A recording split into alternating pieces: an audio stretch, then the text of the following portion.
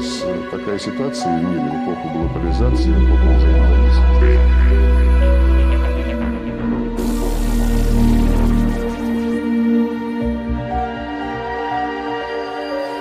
И это ничего общего не имеет, конечно, с демократией.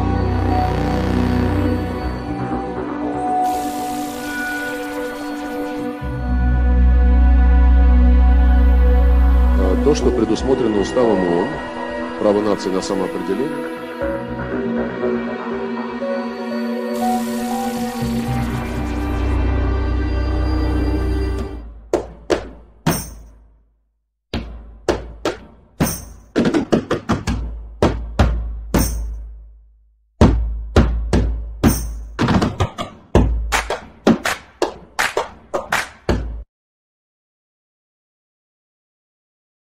Здравствуйте, дорогие друзья! Я приветствую вас на канале Блогер Бен Лайф.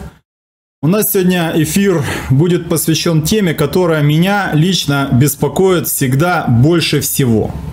То есть из всех тем, которые мы с вами когда-либо говорили, эта тема меня тревожит больше всего. А именно будущее России, именно э, э, молодежь, воспитание молодежи, то, как говорится, к чему ведут страну. Я э, в самом начале я хочу сказать, что особенно те люди, которые недавно на моем канале. Перед вами сидит человек, который всецело э, поддерживает российского президента Владимира Владимировича Путина. То, что сейчас э, мы здесь будем говорить, это не критика президента. Ни в коем случае. Я э, никогда не говорил э, вещи, что э, президента надо менять или что-то в этом роде. Нет. Но есть, есть вещи, которые, к сожалению, происходят в России, которые, я не знаю, как вам, которые живут в России. Основная масса моих зрителей как раз и проживают в России. Я не знаю, как вам, но меня, например, это очень сильно э, беспокоит, расстраивает, тревожит. То есть э, поговорим сегодня о молодежи, о воспитании молодежи, о том, что происходит э, на российском телевидении. У нас сегодня э, совместный эфир. Одного человека не видно. Миша, вернись, пожалуйста, в кадр. Вот. Это мои друзья. Э, справа вы видите Сережа Кирстар и Михаил Гончаров. Это мои хорошие друзья. Вот с ними я сегодня и проведу эфир. Здрасте, ребята. Спасибо, Привет. что присоединились. И э, спасибо за желание обсудить, э, как я сказал, уже тему, которая меня крайне беспокоит. Вот, ну что, друзья, недавно у нас, э, вернее, да, у вас в России был экономический форум э, в Питере, на который был приглашен Даня Милохин, президент Российской Федерации. И президент Российской Федерации был э, приглашен. А перед ним Даня, Даня Милохин. Милохин. Так правильно. Да, Сережа, давай, чтоб не я один. Э, раз... Нет, давай, давай. На меня сразу зрителям хочу сказать, на меня не очень внимание обращать, потому что мне еще на кнопки нажимать надо, чтобы выводить все титры, ваши комментарии. Да, кстати. Тоже на экран. Поэтому вы не забывайте писать кстати, свои комментарии справа, в чате. Справа знает, это редактор. Сейчас, секундочку те комментарии, которые зрители видят на экране телевизора, они идут с чата. Чат в трансляции. Если кто-то хочет попасть в трансляцию своим комментарием, они могут написать в чате трансляции на ютубе. И ваш комментарий очень может быть, что в эфир попадет. Если, конечно, он представляет интерес для канала, не какой-то там не реклама, конечно же, не какие-то упоротые и так далее. То есть конструктивное что-то, красивое, хорошее, позитивное. Я поставил лайк, кстати, это обязательно как и все. И не забывайте про телеграм-канал наш, блогер БН. Богдан всегда забывает про него говорить. Я не знаю почему, может быть у него аллергия на этот канал. Я ему всегда говорю, надо говорить, он все время забывает. А после эфира говорит, а что-то я не сказал, что-то я забыл. Также не забывайте, что у нас есть канал на Рутубе, этот же канал, блогер БН Лайв, на Рутубе. На тот случай, если YouTube когда-нибудь нас, в общем-то, всех блокернет. И самый главный канал, конечно же, Телеграма, главная редакция пропаганды. Троллинг канал такой небольшой для, для особо упоротых. Вот, в общем-то, все. Богдан, слушаем тебя. Да, ну, в общем, э, ребят, э, экономический форум Питере, куда был приглашен президент Российской Федерации. На этом экономическом форуме было, в принципе, так, можно сказать, э, свет, цвет российской, российского бизнеса и экономики. И не только российского. Вот, и что мы там видим? Мы видим там Диму Даню, вернее, э, Милохина, который э, был также приглашен, который является лицом Сбербанка. Который является лицом Сбербанка. То есть, э, ну это что? Это полный шиндец? Что происходит? Это провал, я считаю. Ну, это мое мнение. Но, но это, но это же не страны. единственный случай. Это же не единственное, за что можно краснеть. Потому что... Миша, хочешь что-то сказать? Да, Богдан. Скажу. Миша, скажу, так, скажу сразу, Миша, Миша, вот почему здесь Миша присутствует? Миша здесь присутствует не случайно, потому что Миша, вот когда мы с Мишей ведем э, вот такие вот разговоры э, через телефон, Миша всегда очень позитивный, активно защищает э, Россию, он верит, все хорошо. Мы с ним э, очень часто на эту тему говорим. Поэтому я надеюсь, Миша, ты будешь в том же ключе, потому что разговор должен быть интересный. Богдан, ну, Ключ я с собой не прихватил, но могу, конечно, взять. Я не поздоровался с нашими чатланами. Э, вижу здесь э, наши основные друзья на месте. У нас хорошая поддержка. И с нами даже вожди индейцев. Это нормально все. А, короче, мое мнение по поводу Грефа и то, что Сбербанк сделал лицом Сбера, вот, вот так сказать, э, таких молодых людей. На сегодняшний день, на сегодняшний день бабло рулит. Хоть это и сленг, но по факту так и есть.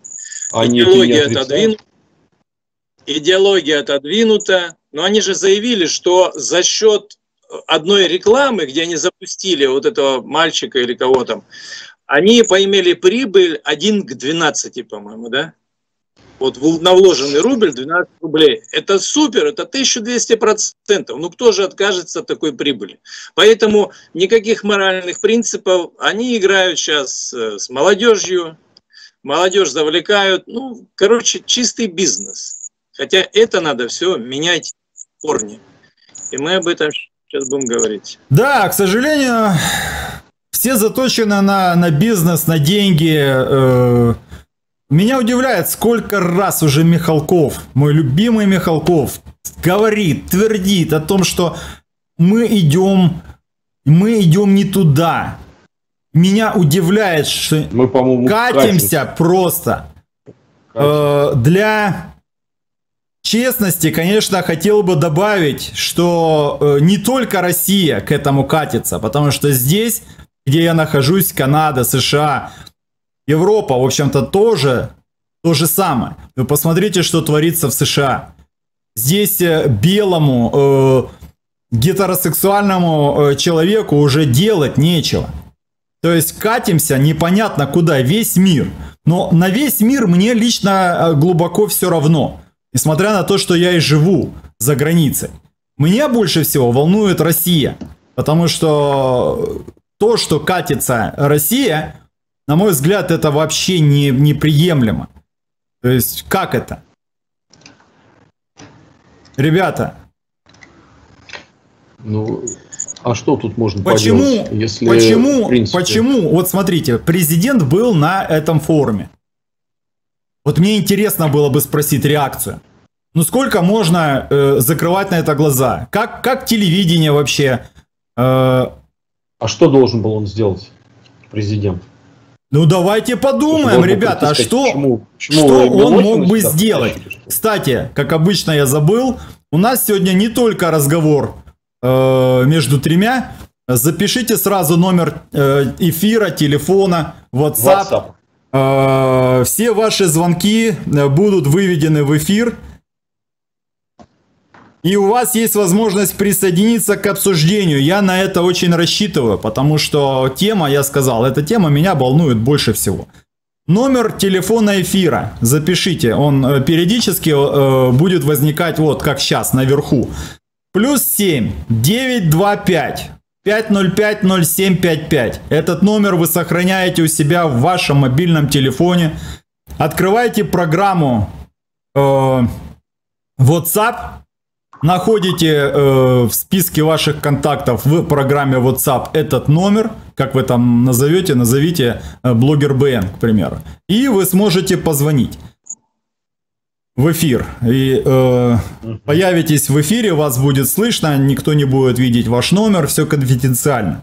Э, если э, я не ответил, всегда помните, что я обязательно перезвоню каждому, кто звонил в эфир.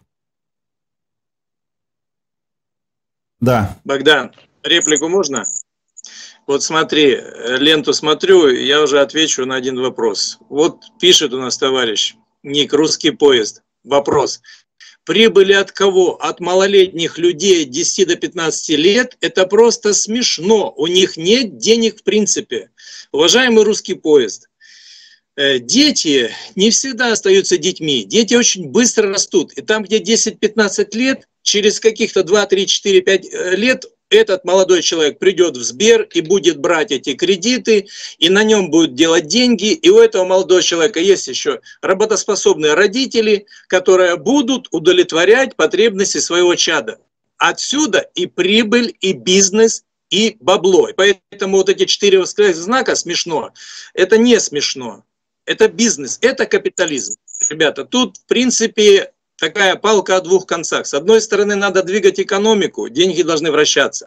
Деньги должны делать деньги. Это закон капитализма. Раз уж мы отказались от распределения всем, так сказать, по труду, коммунизм мы построить не смогли, но социализм вроде бы был. Сколько заработал, столько получил. Сейчас строим совсем другое общество. Сейчас деньги делают деньги.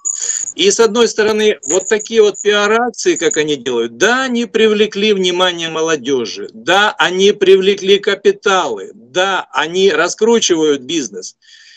Все это, конечно, хорошо, но уходит на задний план мораль, нравственность, все двигается. И вот найти вот эту грань, такую золотую середину, чтобы осталась и нравственность, и двигался бизнес, и строился капитализм, раз уж мы не меняем формацию. Вот над этим надо работать. А вообще, как, как, как ты считаешь, Миша, можно строить и капитализм, и нравственность сохранить? Вот у меня, честно говоря, какие-то сомнения в этом, по, по этому поводу. Значит, смотри, Богдан, ну есть уже правило, что ни один капиталист не откажется там от 300% прибыли, да? а кто-то маму родную продаст там или всех поубивает в таком духе, потому что прибыль это святое. Ну, непреложный закон капитализма. Но с другой стороны, людей можно воспитывать, если есть основа нравственная, если есть моральные устои, то даже самый так сказать, акулистый бизнес можно немножко приземлять и социализировать. Понимаешь, невозможно, э, короче, невозможно всю жизнь работать только на одну прибыль. Надо посмотреть по сторонам. И я так уже чувствую, вот, допустим, много у нас, э, так сказать, жалобщиков, все пропальщиков, которые говорят, что у нас, видите ли, олигархи до сих пор, они рулят, они всех замучили, денежные мешки у нас все украли.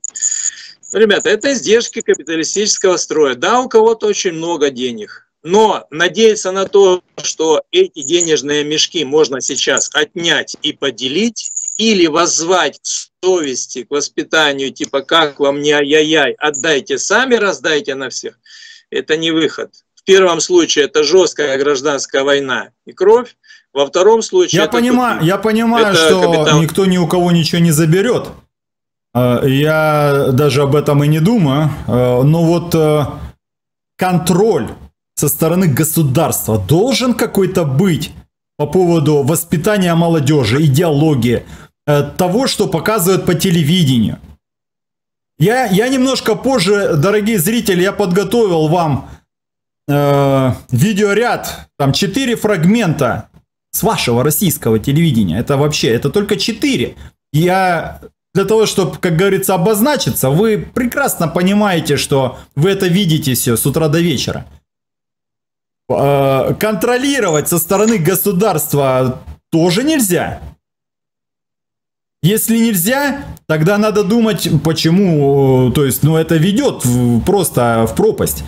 А если можно, почему это... Это, это, это ведет в конкретную пропасть. Через 30 лет эти Дани Милохины будут выбираться у нас на пост президента. Сто процентов. Через 30 лет... Так дело не нас- только в Дане Милохине, а дело в том, что это человек, Я его именем назвал сейчас всю вот эту это часть. человек, просто. это Уже человек воплощение успешности для российской молодежи.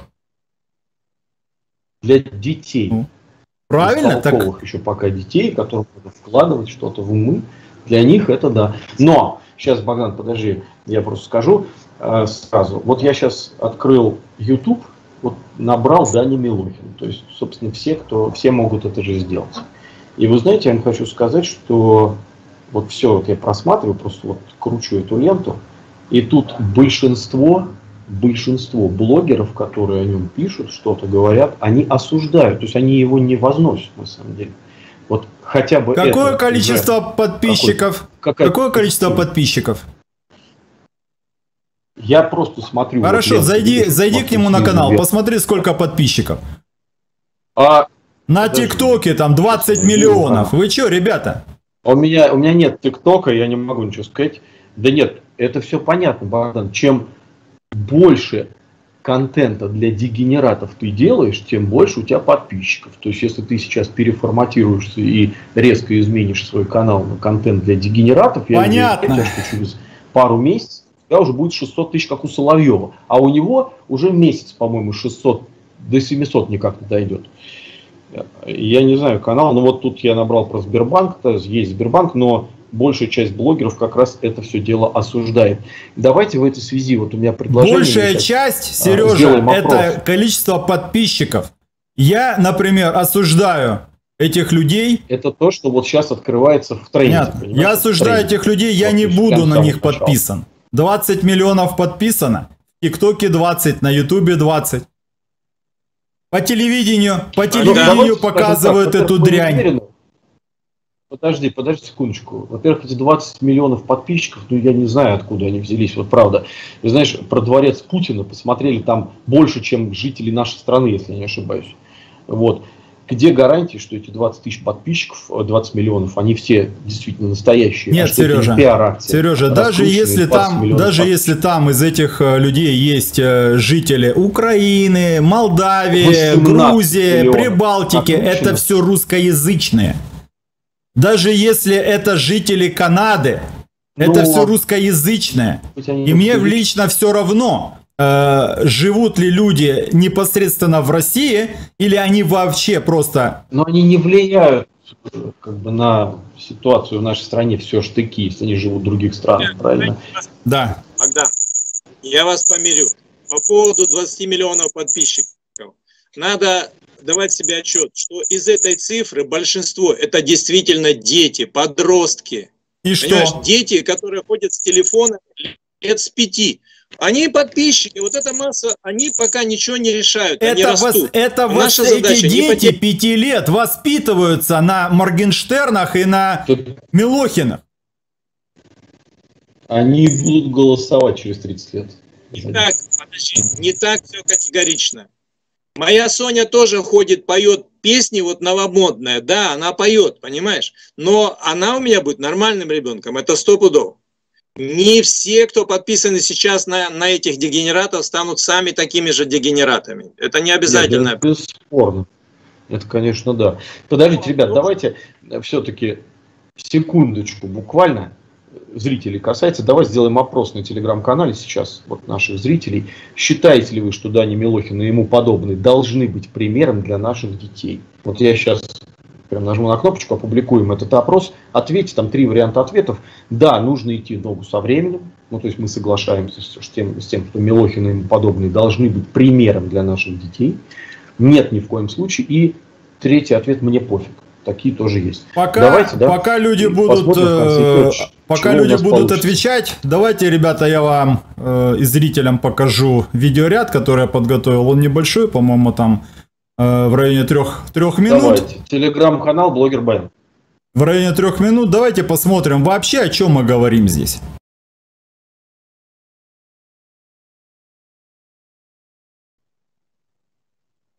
Тут, конечно, можно показывать еще очень много, но э, вас не возмущает вот эта дрянь, которую мы смотрим по телевидению? Все, все эти ток-шоу э, того же самого Урганда. Ну, ну, ну, ну, по-моему, это вообще какой-то кошмар. Какое воспитание здесь может быть? Недавно было 22 июня. А? Э, печальная дата. 80 лет э, со дня начала Великой Отечественной войны. Если бы в это 22 июня началась снова война, победила бы Россия в этой войне? С такой молодежью, как э, Вадим, который кричал. Э, мы показывали этот сюжет. Да, все, наверное, показывали по, по российским э, и телеканалам, и YouTube каналам. Этот мальчик Вадим, который спорил со своей мамой, которая была в ужасе, в шоке от того, что Вадим, видите ли, Гитлера чтит. Таких же. Ну да, так и есть. А, были, были протесты, были протесты. Мы на телеграм-канале освещали эти протесты. Мы выкладывали э, видеоряды, где э, где-то там э, в том же самом ТикТоке молодежь э, говорит о том, что мама не пустила, ну я пойду, я буду эту власть э, свергать, как бы все Материться не хочу просто. Но таких же до хрена. Неужели, неужели мы ну, будем знаешь... просто сидеть и говорить о том, что, ребята, ну вот у меня там э, внучка э, Соня, она будет воспитана хорошо. Хорошо, Миша, внучка твоя будет воспитана хорошо. А другие внучки? Большинство, вы уверены, что большинство нового поколения, оно будет воспитано подобающим образом? В любви к своей стране с желанием работать, что-то созидать. Я, например, я, например, вот я не знаю, если открыть, к примеру, э, ВКонтакте. Вот, пожалуйста, ВКонтакте они сделали новую э, ленту, вы можете видеть то же самое, что в ТикТоке. Если посмотреть, это же одна дурь. И эта дурь затягивает. Да. Научиться да. плохому проще всего. Это тянет. И эта дурь везде, с, с любого утюга. ТикТок, пожалуйста. ВКонтакте это, пожалуйста. Где-то там еще есть какие-то короткие клипы на, на ютубе появились. Такая же хрень там показывают сиськи, попки. Э, тан танцуют, танцуют ну, вот так вот под музыку. И что? И получают бабки, получают миллионы. Вы неужели верите, дорогие зрители, дорогие мои друзья, что с такой политикой у России есть будущее? И еще раз я говорю, то, что я сейчас говорю, я не говорю, что Путин плохой. Ну давайте подумаем, как так получается, почему ничего не происходит. Что думают зрители? Звонки будут? Давай, Звоните. Миша, говори. Поговорим. Я скажу пару слов.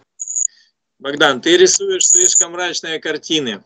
Вот ты знаешь, с некоторых пор я заметил, что, ну, если ориентироваться по соцсетям, полистать ТикТок, там, Телеграммы, Ютуб, э, Одноклассники, те же, все остальное, создается впечатление, что мы живем в стране либо даунов, либо дебилов, либо конкретно отмороженных товарищей. Но по факту, вот сейчас сети, получается, как губка, адсорбируют адсорбируют вот этих вот товарищей, которые, ну, я бы так сказал, может быть, обидно, но адсорбируют то, что не очень хорошее, не Абсорбирует куда? Абсорбирует. Основная... Оно втягивает.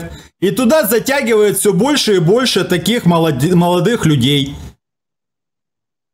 И вытаскивает на поверхность. Мы это ну, видим, посмотрели. Понимаешь? А основная адекватных молодых людей, они, во-первых, не сидят в этих сетях, они строят свои жизни, карьеры и так далее, семьи. А вот на поверхности плавают вот эти вот бывшие поющие трусы, которые сейчас пытаются проходить депутаты, понимаешь? У людей, вот как правильно сказал Соловьев про одну персону, что она давно перепутала голову с попой, но они из себя мнят, у них, да, много подписчиков, у них есть покровители, спонсоры, денежка. Они думают, что они поймали Бога за бороду, и, и теперь они звезды на всю оставшуюся жизнь. Но это не так, это все ложное, ложные, так сказать, кумиры. Всему То свое есть- время. То есть, Миша, ты считаешь, период, ты считаешь, переживать не надо. Нет, переживать надо. Ты знаешь мое мнение. Я давно сказал, в школу надо возвращать воспитание обязательно. В школу надо возвращать идеологию, вплоть до того, что воссоздавать пионерские организации, комсомол и так далее. Пусть это будут другие какие-то форматы, но надо объединять людей молодых, надо объединять в какие-то структуры. Потому что с некоторых пор запустили в образование клич. Все индивидуальны. Мы готовим, во-первых, потребителей, которые будут жить и потреблять, так сказать, через Сбер все остальное. И нам э, не нужны коллективисты. Каждый, каждый человек по-своему уникален, и каждый должен, вот так сказать, формироваться сам по себе. То есть, перевожу на русский. Поднимайся как можно выше, плюй на нижних там и все остальное. В наше время нас воспитывали. Мы жили в обществе, в коллективе. Хоть в школе, хоть в том же самом детском садике, армия то же самое. Ты смотрел по сторонам, ты жил среди людей. Ты не мог вести себя хуже, чем это принято в обществе. Ты не мог переступить какие-то черты, барьеры, потому что было табу. Тебе не давал твой собственный стержень внутри это делать. Ты не смог бы дальше себя чувствовать нормальным человеком. А сейчас это все отодвинуто, отдано на потребу дня. Сейчас чем лучше ты покажешь свою задницу на большом экране, тем больше упадет тебе бабла. Как бы это грустно не было. И ну, я считаю, это все И плесень. тем больше шансов, что тебя возьмут в театр еще. Да, он как Бузова в театр. Да, да. И на хорошую роль. А таланты, которые живут в деревнях, и которых ищут программа там какая-то «Ты супер», они отыграли в этой передаче и до свидания им сказали. Богдан, А э, Бузова, пару слов по поводу Бузовой и ее роли в Амхате. Э, Да. Можно осуждать, да, да, да, бесталанная, да, но театр захотел тупо заработать денег. Они придумали вот этот треугольник, тема Сталин, Бузова, и народ повалил, понимаешь? Они заработали деньги, они это не скрывают. Они хайпанули. поступили принципами. Станиславский в это время не перевернулся с Немировичем Данченко, или просто не увидели, а эти ребята быстренько хайпанули. Ну и нужны что, деньги. ребята, вам не Тем кажется, что- что с таким отношением э, вы угробите страну? Я не имею в виду именно вас, я имею в виду вообще россиян, э, руководителей этого театра. Вы там вообще охренели, что ли?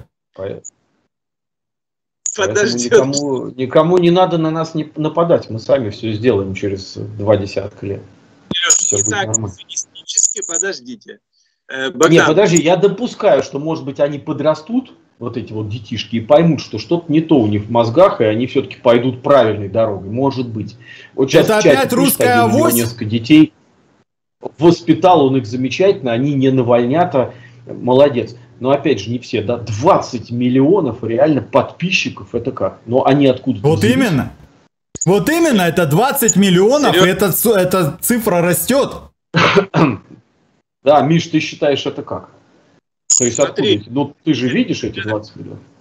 я вижу, смотрите, сейчас вот эти 20 миллионов, это ребятки, это поколение, которое, во-первых, не знает 90-х, и которое вот где-то недавно услышал определение, А что... Подожди, подожди, подожди. Кто их воспитывает? все революции делают не обездоленными, которым кушать совсем нечего, а именно ребятками, которые наелись, ты понимаешь? Вот сейчас поколение, так сказать, запестованных, зацелованных, айфонистов и так далее. Они не видели плохого, у них не было еще трудностей по жизни. Поэтому сейчас вот эта катавасия. Но придет время, и у кого-то холодильник победит телевизор, у кого-то обстоятельства по-другому сложатся. Но я думаю, устаканится со временем все.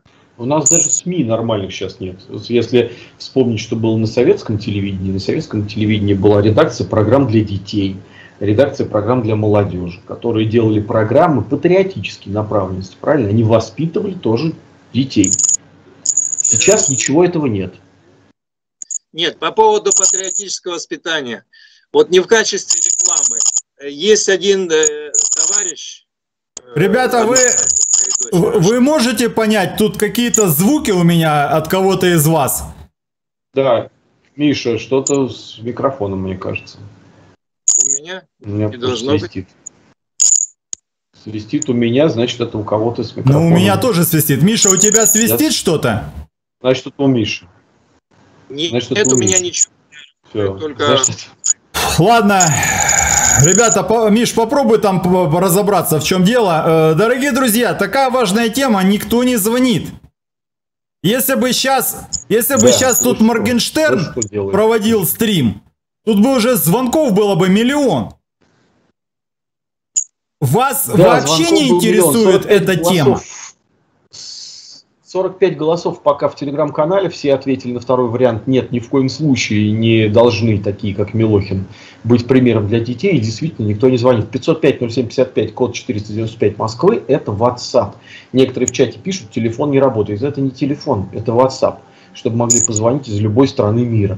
Поэтому в WhatsApp вперед, звоним, расскажите свое мнение. Вот человек, я, я не увидел его, но я его вывел в эфир. Кстати, кто написал, что у него э, много детей, он их воспитывает правильно. Вот позвоните, давайте поговорим, давайте вы расскажите, как вы воспитываете детей. Как вообще, как вообще можно нормально э, воспитать детей? Да, как сейчас воспитать нормальных детей? 495 505 0755, мы ждем ваши звонки. Почему действительно вот э, все вот эти вот упырье вещают, у них там черти сколько зрителей звонков, здесь серьезной темы никого нет. Кто-то сейчас написал, э, значит, типа Соловьев тоже дегенерат, его тоже много смотрят. Нет, я, кажется, четко сказал, что у Соловьева счетчик подписчиков уже последний месяц вообще практически на месте стоит. Он за год набрал 600, если не ошибаюсь, там около 80 тысяч человек. В то время как тот же Милохин за сколько там, за тот же э, пару лет набрался 20 миллионов. Причем есть Соловьев? Вы слушаете, о чем мы говорим? Хочется спросить. В общем, ждем ваши звонки. Не забывайте, на телеграм-канале у нас проходит опрос. Э, Считаете ли вы, что Дани Милохин и ему подобные должны быть примером для наших детей? Да, нужно идти много со временем. Не ответил пока ни один человек. Остальные ответили, что нет, ни в коем случае. 48 голосов. Ждем ваши звоночки. Да, Богдан? Опять-таки возвращаюсь к моему, к моему любимому Михалкову, которого я всецело уважаю. Ну, вот, посмотрел я его последний бесогон, где он тоже подымал эту тему. Э, И, и Кстати, Сереж, да. ты знаешь, вот мы, мы пытались с ним э, связаться для того, чтобы, Ну, для того, чтобы э, зад- задать вопрос. не надо так говорить. Не, не- не надо говорить, это неправильно сказано. Пытались. Мы начали с ним связываться. Вот. Пытались, это когда сделали и не Ну да. получилось. Это, это совсем не так. В процессе. Да, мы, мы в процессе... э, це- Если случится чудо, и Михалков выйдет к нам на канал, это было бы прекрасно, просто понимаем, да, что имя Михалкова это имя Михалкова, и более того, к сожалению, опять же, звание, так скажу, блогерства в России очень сильно дискри- дискримини- дискредитировали, дискри- все что угодно с ним сделали, потому что блогерством сейчас уже оно чуть ли не ругательство, это слово стало, занимается кто попало и всякой ерундой, начиная там от троллинга гаишников на дороге и заканчивая вот тем, что происходит иногда у нас на экране, да, что мы все смотрим, на, на кого подписаны там миллионы этих подписчиков. Поэтому такие люди, как Михалков, ну, скажем так, очень аккуратно идут Это, тем, это которых понятно, это, это понятно. Мы, мы это обсуждали с тобой. Я абсолютно понимаю. Я, я зрителям Да, да, правильно. Я абсолютно понимаю, почему э, с настороженностью идут к блогерам. То есть для того, чтобы э, для того, чтобы пойти ко мне в эфир, это надо, это надо просто посмотреть, разобраться. И то, и то есть опасность того, каждый человек, кто был у меня в эфире, все равно может сказать, а иди знай, как он развернется дальше. Поэтому все понятно. Вот, но э, Никита Сергеевич в своем последнем бесогоне, он э, частично ответил. Ну, он сказал, меня часто задают вопрос, а что делать? Вот это вопрос, который я э, задаю тоже очень часто. И задаю этот вопрос и сейчас в этом эфире. Что делать? Никита Сергеевич говорит, я не знаю. Ну как-то так. То есть, хорошо, Никита Сергеевич не знает. А как, сейчас, подожди, Богдан, а как действовать-то? Вот скажи мне, пожалуйста, вот ты сейчас что считаешь правильным? Вот На, на данный, Лохина нужно на данный показывать момент, на данный момент, сейчас, сейчас вот она закончилась или еще э, идет э, сбор э, вопросов э, от э, населения к президенту России? Идет. До сих пор идет. Это будет до конца. Ребята, до конца давайте, эфира. давайте отправлять эти вопросы. Этот вопрос должен дойти до президента. Ну не можем мы пока дойти, связаться, поговорить, сесть э, друг напротив друга и обсудить эту тему. Но я не могу понять, почему настолько важная тема, как будто ее не видят. Ее видят, просто, к сожалению, у нас страной занимается один человек. А он все не успевает сделать. Вы посмотрите даже вот пример Крым. Керчь Южная, вот эта станция, ее два года открывают. Ну это же вообще, это что, саботаж какой-то что ли был? Одно не приняли, потом приняли, потом опять не приняли, что-то не доделали. Я говорю, почему сразу-то все не посмотреть? Почему нужно было два года принимать эту станцию? Это же просто вокзал. И все так, как говорил Михалков в известном фильме своем. И все так. Миш, пока, когда ты Пойду молчишь, Миш, э, нажми на э, отключить микрофон, пока ты молчишь.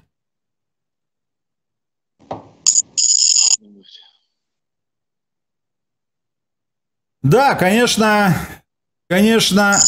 Ты отключил? Значит, Богдан, посмотри, может быть, это что-то в программе. Соловьев патриот Израиля, вот пишет очень умный человек. Абсолютно верно, да. Это именно так. Именно так. Вы знаете, э, такие вот комментаторы. Вот, ну я не знаю, я понимаю, что вы, конечно, э, троллите и, э, в принципе, в этом ваша э, задача, но вы написали эту фразу по-русски.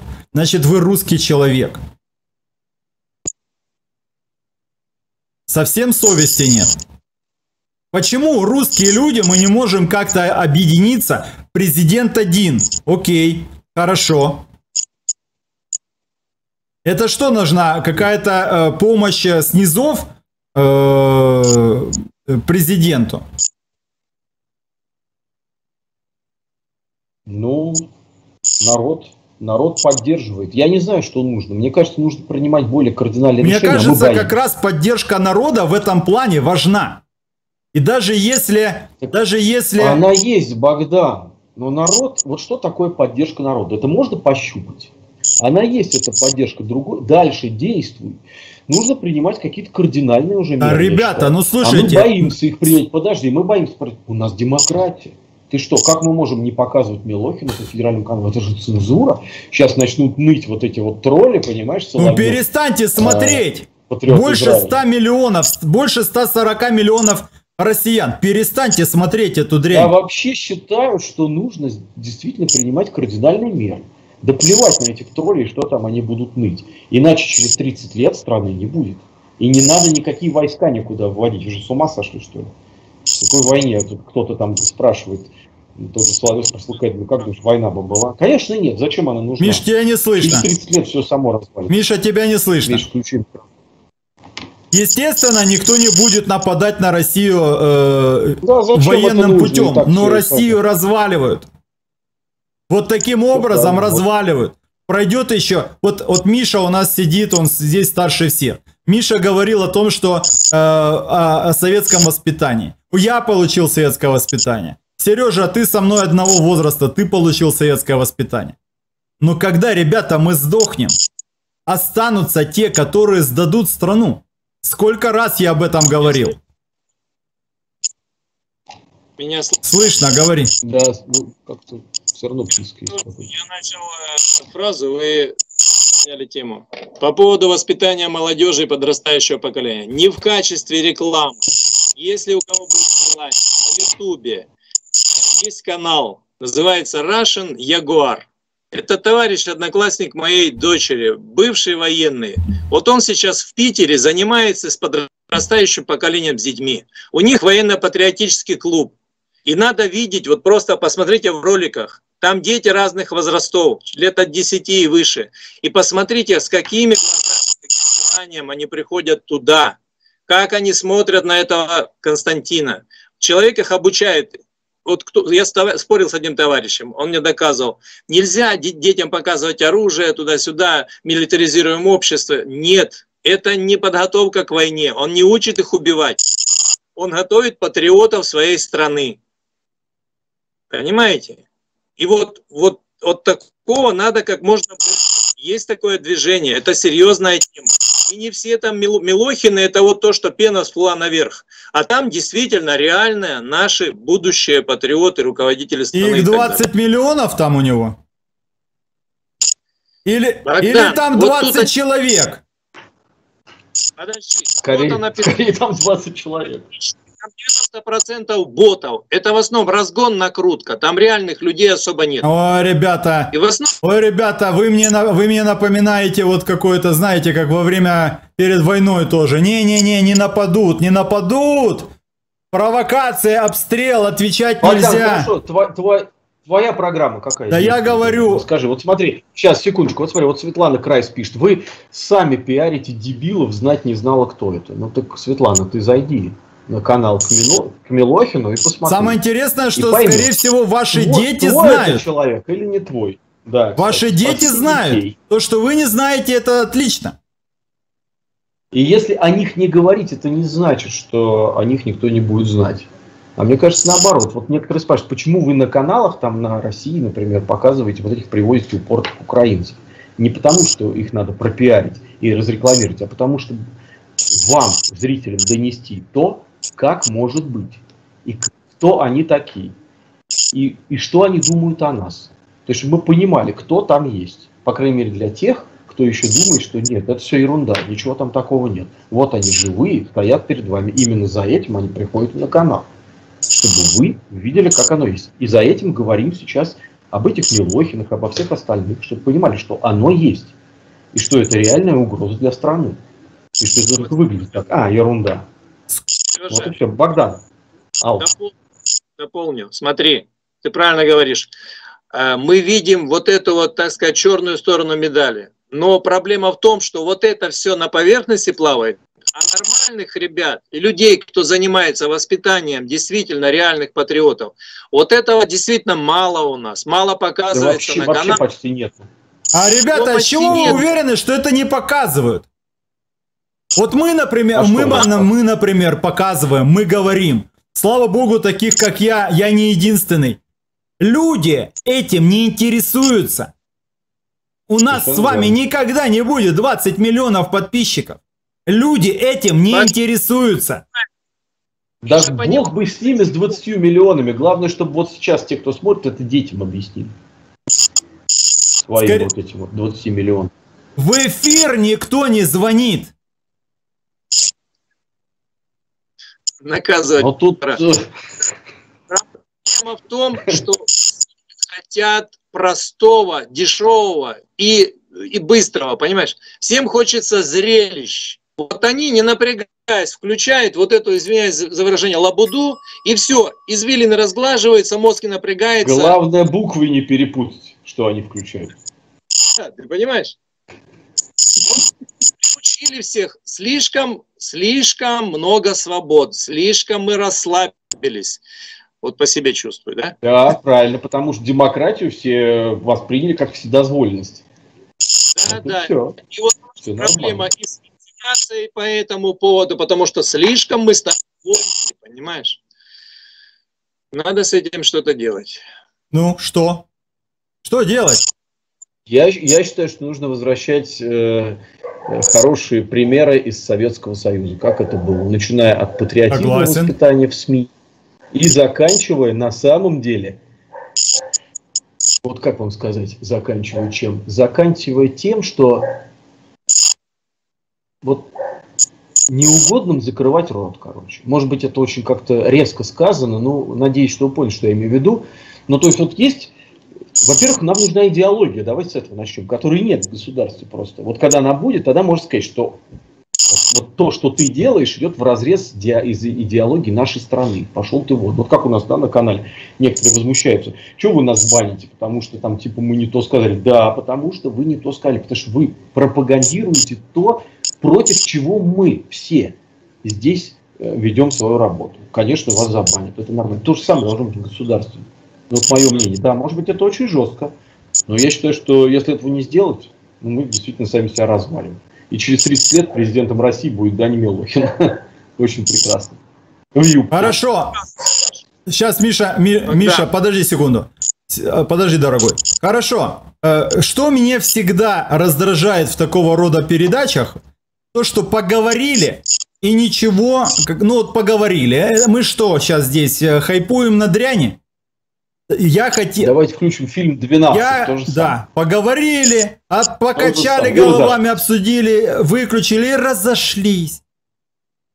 Я хочу конкретно, э, чтобы мы подумали. И меня очень просто бесит то, что никто не звонит. Чтобы мы подумали, что можно делать. Я упомянул федеральные каналы. Бойкот, перестать смотреть, пере, перестать ходить э, э, в Амхат, перестать, перестать слушать э, каких-то певцов, концерты певцов, которые э, говорят дрянь на, на Россию, перестать смотреть фильмы, где участвуют актеры, которые говорят, что фейерверк во время 9 мая это пукать деньгами в небо. Да, перестать закупать, во-первых, фильмы с Зеленским. Нахрена он нужен? Мы финансируем этим фильмы в войну. Никто вот я вам перечислил конкретные... В МХАТ.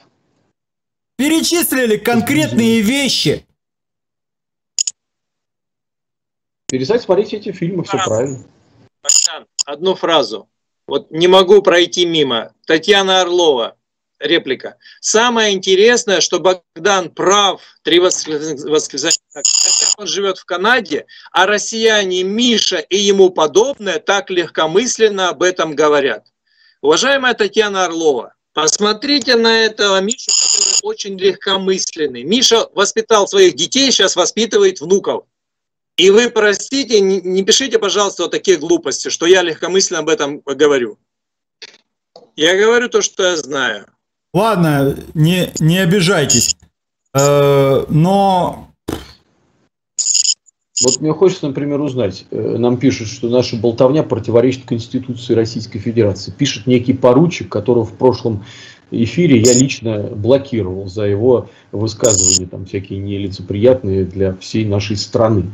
Вот, ну, поручик, давай позвони нам в эфир, расскажи. Да, давай, позвони. О, России. секунду. Выскажи свое мнение. У нас тут был. Скажи все, что у тебя наболело, накипело. Скажи, какой у нас президент плохой, как он разваливает страну. Ну, так же ты вроде бы писал. Ну, или около того в прошлом выпуске. Давай, чего ты боишься-то? Или вы только там клацать на клавиатуре умеете? А когда вы там встречаетесь где-то на улице, вы совсем все шелковые, пушистые и белые? Как так бывает? Диванные воины? Ну давай, поручик, позвони нам и расскажи, в чем дело, чего ты там за буквы, поручик, даже не называешься, как тебя зовут. Так, в чем мы у нас, у нас, у нас есть дозвонившийся, я не знаю, наверное, это не поручик. Здравствуйте, представьтесь, пожалуйста. Здравствуйте, Мариуполь, Владимир, беспокоит Очень Приятно. Очень приятно, я да, Владимир? Ну, слушаю. Ну, я бы, видите, что хотел вопрос какой поднять. В Мариуполе мне жалко. Э, вы слышите меня, да? Отлично слышу. Алло. Слышно. А, значит, у нас у, на левом берегу ну, была школа, интернат. Занимались в свое время э, дети самого маленького, вот все спортсмены. Футбольное поле было огромное, большое, Маракана называлось. Я посмотрел, какие там ребята, как они смещены. Ну, это очень... Теперь же заняли, значит, Азу заехал сюда, в это помещение. Занялись это помещение, ну все. И на этом дело кончилось. Вот и все. Просто жалко детей. Страну жалко. Правильно. И, и э, как раз к тому... Есть у вас еще какой-то вопрос или что-то хотите сказать? Или я да нет, я из Мариуполя, я бы... Я давно тебя слушаю, Богдан. Ну, как-то много лишнего нельзя говорить. Я подойду, Любочка. Хорошо, спасибо.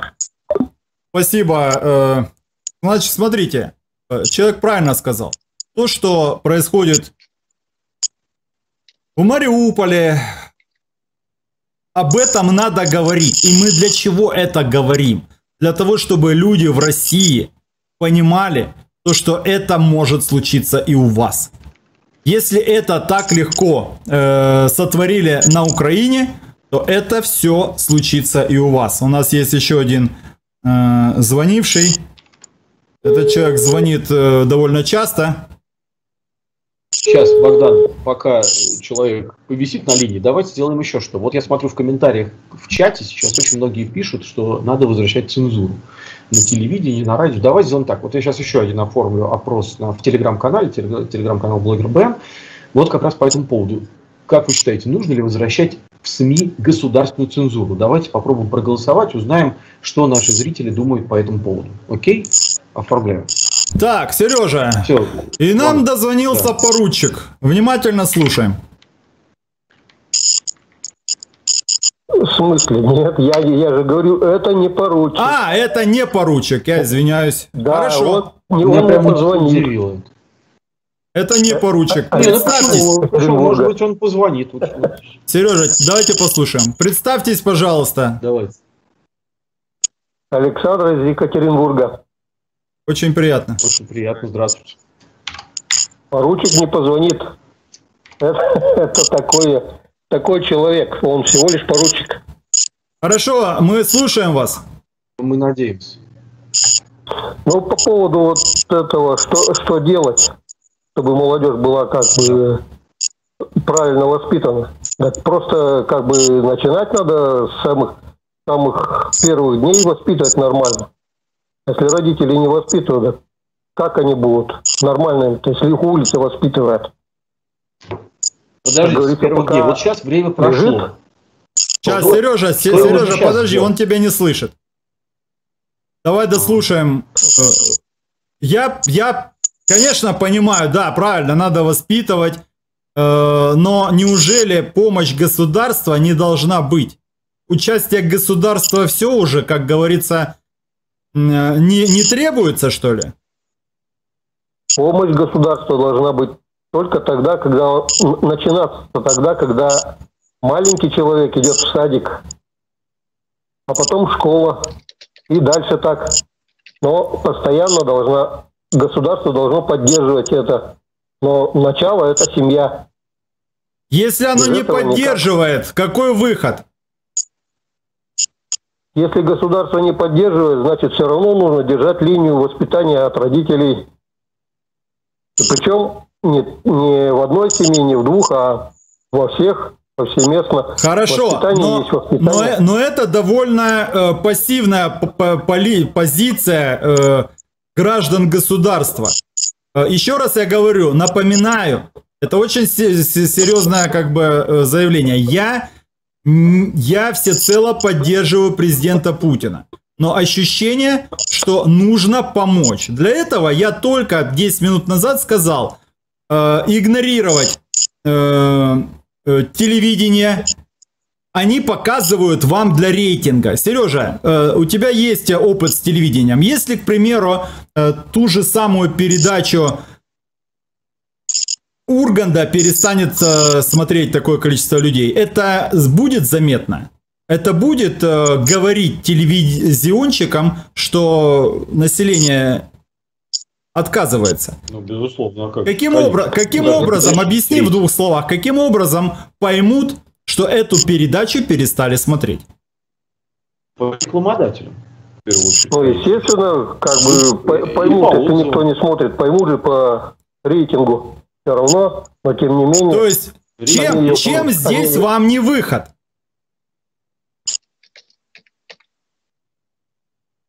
Поэтому... Если, если одну передачу перекрывать, Ага, надо все перекрывать. Хорошо, хорошо. У вас звонивший, у вас есть еще э, что добавить? Или я продолжу говорить свою мысль? Я, я только вождю привет передам, да Миша. Хорошо, спасибо. Вождь привет большой. Просит, да, привет ему. Вождь, между прочим, привет, тоже мог бы позвонить. Вот. Все верно, ребята, вы говорите, то, что нужно воспитывать у себя в семьях.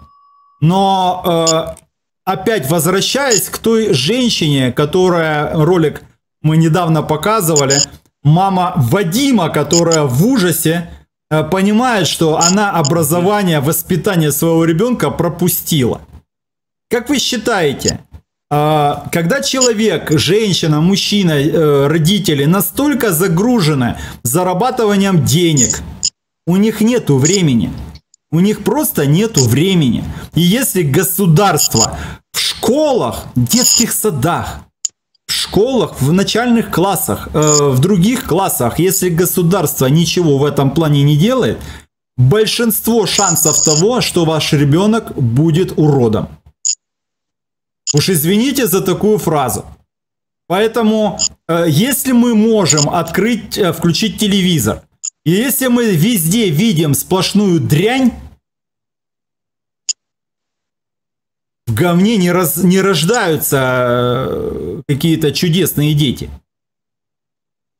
То есть, и предложение твое. Есть еще семья, есть родители, мы есть. Хорошо. Подожди, подожди, Миш. Родители сейчас занимаются зарабатыванием денег. Должны спасать государство. И, Богдан, продолжи. И что ты хочешь этим сказать? Что нужно... Я сказал уже, я уже, я уже сказал, что? нужно активно э, протестовать против этого. С телевидением я сказал, перестаньте смотреть. Э, люди должны обращаться э, в органы власти для того, чтобы книги, учебники были нормального содержания. Чтобы там не было э, написано полторы строчки о Курской битве и о Сталинград- Сталинградской битве. Ну вот недавно об этом сказал президент. Да я вас уверяю, что через пять лет мы поднимем ту же самую тему, и мы опять скажем о том, что те же самые учебники. Это как это? Богдан, ну говорю. если Вы пока говорите, у меня есть еще один звонящий, я ему перезвоню. Я вас слушаю. слышал, говорю, если президент сказал, значит работа уже идет в этом направлении. С учебниками Почему пока президент не сказал, работа не идет? Я же говорю, у нас скоро лампочки в подъездах будут менять только после того, как президент увидит это. Не успевает у нас Владимирович все контролировать. Слишком Один рас- человеку занимается страной, получается так. А остальные, а Сережа, остальные, что сидят и ждут, пока А, Владимирович да, а что? вопросы делают? порешает. Об этом я говорю. Богдан, мы сейчас разгреб- разгребаем последствия 90-х, последствия вот этих реформ. А у нас не начинаются ли новые 90-е какие-то в связи с тем, что, опять же, никто ни хрена ничего не делает? Мы ждем, когда президент увидит, о, цены на бензин поднялись, Ешкин-Клешкин, давайте позвоним кому надо, пусть цены снижаются. Сережа, Какие-то новые экономика 90-е. Но это Эконом- экономика во вред страны. Ну какая экономика? Скажите, Сережа. экономика все хорошо. Ну давайте как-то о стране помнить. Сереж, мы проблему эту не решим с экономикой. О том как-нибудь отдельно. Так, у нас есть еще один дозвонившийся. Здравствуйте, вы в эфире. Представьтесь, пожалуйста. Богдан, привет, это Игорь Макаров, твой подписчик, я сейчас там есть, в чате. Да, Игорь Макаров, мы вас слушаем внимательно. Ребят, давайте так, я вас прошу, чтобы не поднимать волну, в России будет все нормально, это раз. Хорошо, что вы переживаете за это, это два. Три, привет вот всем этим чушкам, что там пишут, да, короче. Если хотят со мной увидеться, пусть приедут в Покров. Тут их друг сидит Навальный. Россия всегда была и будет первой. Вот и все, что я хотел сказать. Хорошо, спасибо. Наш человек, Богдан. Действительно.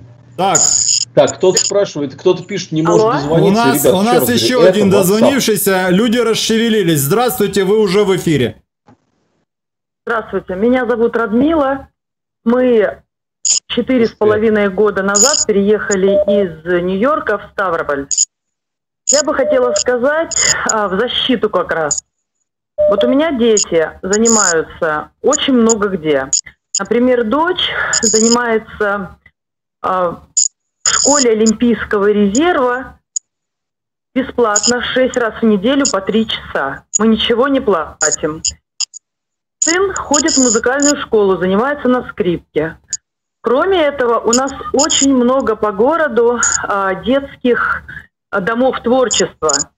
Туда можно записаться бесплатно. Если я не ошибаюсь, в нашем э, ДДТ, Дом детского творчества, там где-то больше 200-300 э, наименований кружков есть на всякие вкусы, и это тоже бесплатно.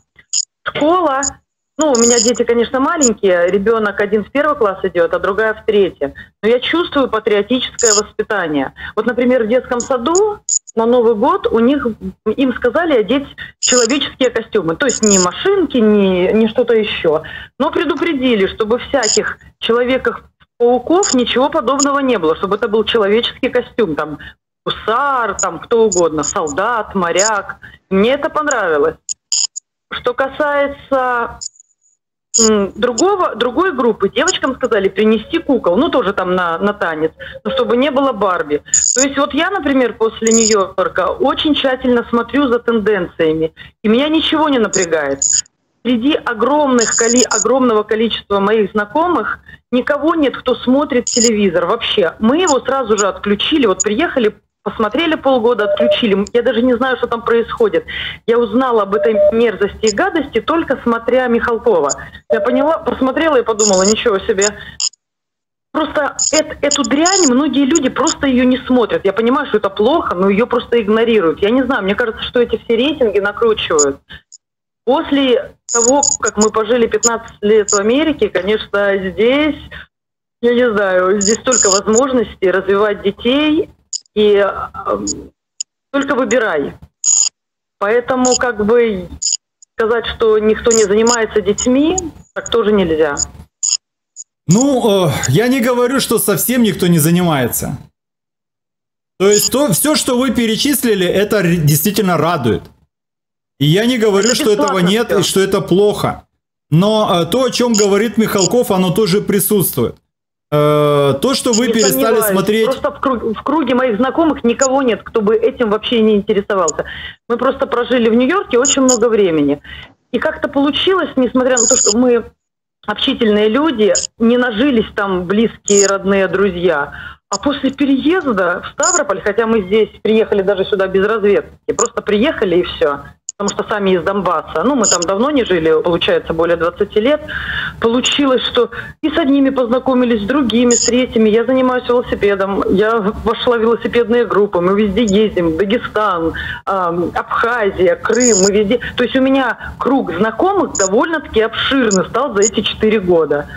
То есть вот это, это чисто мой опыт, да, я посмотрела Михалкова, меня это взволновало, я вытащила свои книжки по критическому мышлению для детей, мы стали еще более усиленно заниматься, но просто понимаете, у меня сложилось впечатление, да, Никита Михалков правильно делает, что он бьет колокола. Ну, в обычной жизни я этого вообще не вижу. Ну, может быть, ходит какой-то отморозок, так и в наше в детстве кто-то там хулиганил, а, бил стекла, бухал. Ну, мне кажется, отморозки не всегда были. Но вот такого вот массового я не вижу. У нас, например, тренер у дочери, она такой советской закалки, я вообще от нее балдею. Учительница у а, сына взрослая. Ну, вот этот преподаватель и состав, он неравнодушный. Они такие классные. И у нас здесь постоянно что-то организовывается. У нас есть патриотические парки. У нас День Победы замечательно празднуется. Я не знаю, я просто, я не знаю, вот как описать наш переезд. Мне говорили, а, типа, куда ты едешь? Да я вообще на десятом небе. Я думала, надеялась, что будет хорошо, но я вообще не думала, что до такой степени. Может быть, наш Ставрополь такой крутой. Но все, что я вижу, Здесь проходит в год где-то 300 мероприятий, и мы фактически везде бываем. Ну, не, не огромный город, можно везде доехать. И везде чувствуется патриотизм, любовь к родине. Вот просто красной линией. И дети у меня патриоты растут, и все. И на, на День Победы много чего организовывается, и дети с ленточками приходят, и каждый знает, и каждый чувствует. Поэтому, когда я смотрю, вот иногда подобные передачи, я думаю, это какая-то другая реальность, где оно? Наверняка оно есть. Ну где оно все? Я Хоро- этого не вижу. Хорошо, Хотя меня, меня, многие меня дела. очень-очень-очень порадовало то, что вы сказали. Действительно, вы знаете, у меня как будто сейчас на душе стало легче. Спасибо Это большое. Спасибо вам. Кстати, э, действительно, огромное спасибо, потому что, ну, я не знаю, я реально переживаю. Мне реально стало легче. Спасибо за то, что вы позвонили, но я... Вот, но, э, Миш, я хотела сказать, то, что женщина сказала, это замечательно. Если бы не было того, что сказала женщина, это был бы вообще полный шендец. Получается, не так все плохо. Но то, о чем говорит Нет, не Никита так всё Михалков, тоже есть. Безусловно. Как Грефа остановить? Как остановить то, что Татьяна- есть? По телевидению все-таки мы, ну я вам сделал видеоряд, показал, можно тут э, три часа показывать эту дрянь, просто не хочется. Но это же есть. Если она не смотрит, это замечательно, это правильно. Но это же есть, остальные-то смотрят. Да, Сережа? Остальные смотрят. Татьяна Титова тоже пишет, в городе Ржеве очень развита патриотическая работа среди детей, очень богатая культурная жизнь, масса бесплатных кружков поддерживают советские традиции. Так что, конечно же, это есть. Теперь давайте перейдем к телеграм-каналу, где был опрос. Считаете ли вы э, необходимо возвращать в СМИ государственную цензуру или нет? 83% э, из 52, к сожалению, только 52 голосов ответили, что нужно, и 17% ответил, что нет. Давайте я еще отправлю на один канал достаточно э, большой этот же опрос и посмотрим, что ответит с учетом того канала. Это к Ильясу Меркурию. И я что хочу этим сказать? Что давайте представим, сейчас введут государственную цензуру на телевидении. Никто не отменил интернет. Они же не из телевизора это все черпают в большинстве. А как правильно, опять же, пишут нам наши зрители в чате, они черпают это из интернета. Можно отключить телевидение, но все перейдут в YouTube. Все перейдут и будут смотреть вот этих вот 20-миллионных э, идолов, которые будут нести то, что они несут. Что даст эта цензура, если ее вернуть на телевидение? Как вы думаете? Она даст вообще что-нибудь?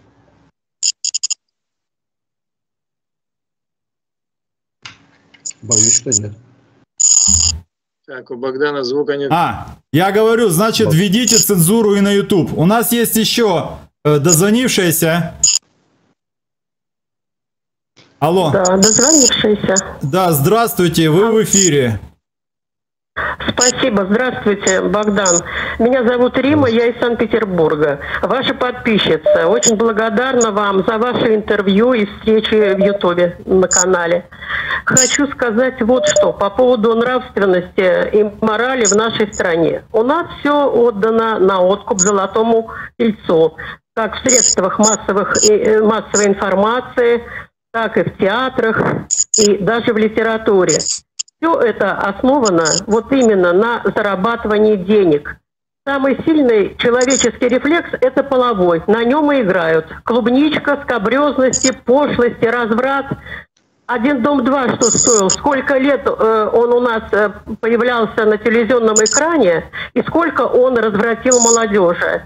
Мне дурно. Я ни, ни одного, ни одной передачи не смотрела. И вообще не смотрю телевизор несколько лет.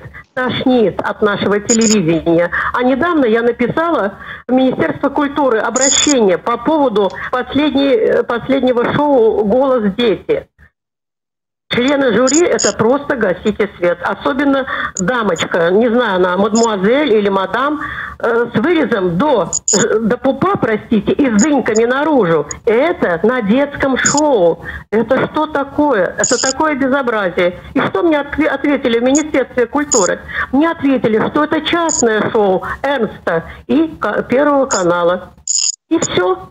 Так я полагаю, что нужна именно государственная цензура. Государственная. Иначе мы положение не исправим и не справимся с этим. И если есть люди, которые все это сглаживают, говорят, что это ничего не значит, это имеет огромное значение воспитания детей и молодежи. Огромное. Отсюда навальнята и всякие неприятности. Вот что я могу сказать. Я, кстати, врач. Я понимаю, на чем основ, а, основывается вот это зарабатывание денег. Вот именно на человеческом сильном рефлексе, самом сильном, половом. Это физиология. Увы, такова жизнь. Хорошо, на ваш Ну, что взгляд... На... Алло. Да-да-да. На ваш взгляд, Слушай, мне интересно было бы услышать ваше мнение. На ваш взгляд, что вы думаете нужно делать?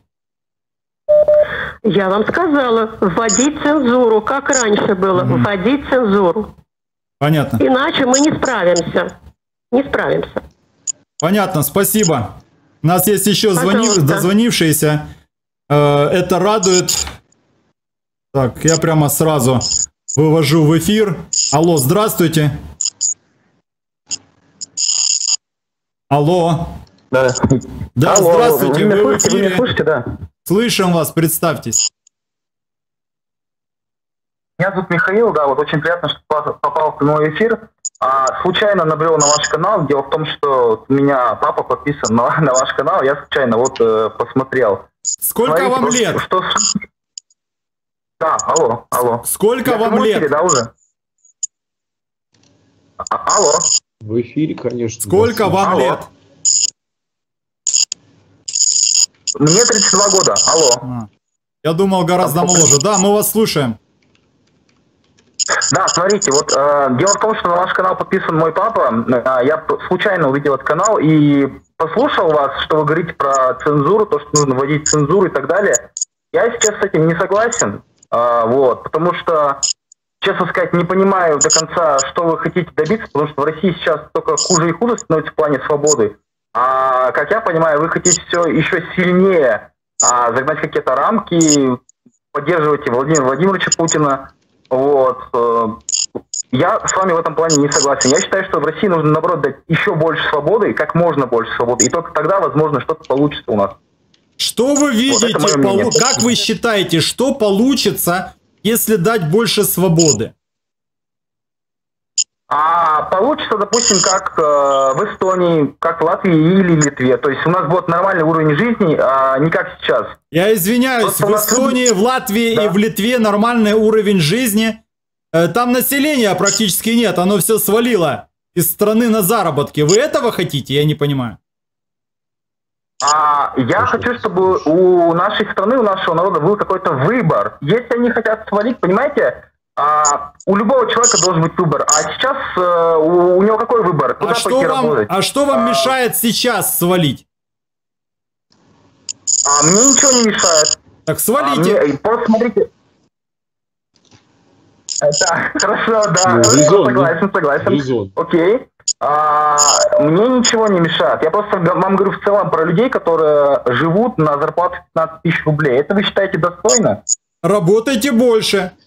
Поменяйте, О, поменяйте хорошо. род деятельности. Образование, давайте, образование. Хорошо, а если, а если негде работать? Вот вы, вы, вы были вообще в регионах? Там ведь, Слушайте, э, слушайте, вы разговариваете, э, вы разговариваете с человеком, который прошел две иммиграции, который за свою жизнь все время менял работы, который все время думал о том, каким образом заработать больше, который все время чему-то стремился. Поэтому, э, когда я слышу о том, что нельзя заработать, вам нельзя заработать в вашем регионе, переедьте в другой город. Вы не можете Я заработать, переехал- я- вы не можете да, я заработать переехал в Москву. в той, да. ин- в той, той деятельностью, которой вы занимаетесь, поменяйте профессию. Ну, Можно? смотрите, я, вот лично я, я переехал в Москву, да? Но остальные люди, к сожалению, не все могут себе позволить переехать в Москву и найти там работу. Вот что делать остальным людям, как им жить на 15 тысяч рублей в месяц, меняться, там, где-нибудь меняться и городке? начинать шевелить жопой. А не ждать, Богдан, меня... а не ждать, что, а не ждать, что вам э, э, принесут, дадут, вложат в клюв. Этого не будет. Согласен. Но должен Я- быть минимальный уровень. Я, я с 90-х вами не согласен купили полностью, согласен. Но смотрите, в Европе устроишься на любую работу, даже в Макдональдс. У тебя вот минималка, и ты сможешь себя обеспечить спокойно. Разве не так? Господи. Нет, не так. Абсолютно Нет, не абсолютно не так. Не так. да? Когда человек приезжает, да, ребята, они, э, Миша, э, Сережа, вас все равно не слышит человек. Э, когда вы приезжаете за границу, вот если вы переедете за границу, вы поймете, что вам надо так. будет шевелиться. Если вы шевелиться не будете, так. вы пропадете. Так я не понимаю я одного, согласен. почему люди не начинают шевелиться в своей родной стране, на родном языке говоря. Это все байки, знаете, э, Пока не переедут, это байки. Это все байки. Ну, слушайте, вот, Только потом ну, смотрите, ну вот, э, вот, вот вы живете где? Вы живете в Канаде или где, да? Где он живет? В Канаде? Я жил в 10 живете, лет да? в Израиле, Сколько я живу уже 13 зарплата? лет в Канаде, да. А вот скажите, сколько у вас минимальная зарплата? Вот сколько долларов сейчас минимальная зарплата? Давайте, может быть, лучше как-нибудь подожди, поговорим. Подожди, подожди, Сережа. Скажи, скажи, сколько, сколько зарплата минимальная? Пусть это будет 6 тысяч долларов, вот допустим, да? У нас... А теперь давай ну, скажем, сколько Минимальная зарплата, средняя, вернее, зарплата в Канаде где-то в районе 30-35 тысяч долларов в год. Если вы посчитаете расходы, понимаете, да. всегда вечная ошибка. Сережа, Сережа, вы за свет там в Канаде платите? Сережа, я, тебя, я сейчас не слышу. Э, понимаете, дорогой, э, когда вы узнаете минимальную зарплату или зарплату вообще, то вы не понимаете, какие расходы. Никогда никого не интересуют расходы. А если вы э, посмотрите расходы, то вы поймете, что жить на минимальную зарплату невозможно. Поэтому для этого надо шевелить задницей.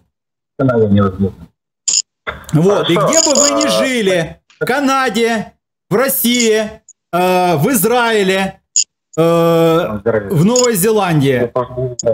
Ладно, идем дальше. Идем дальше.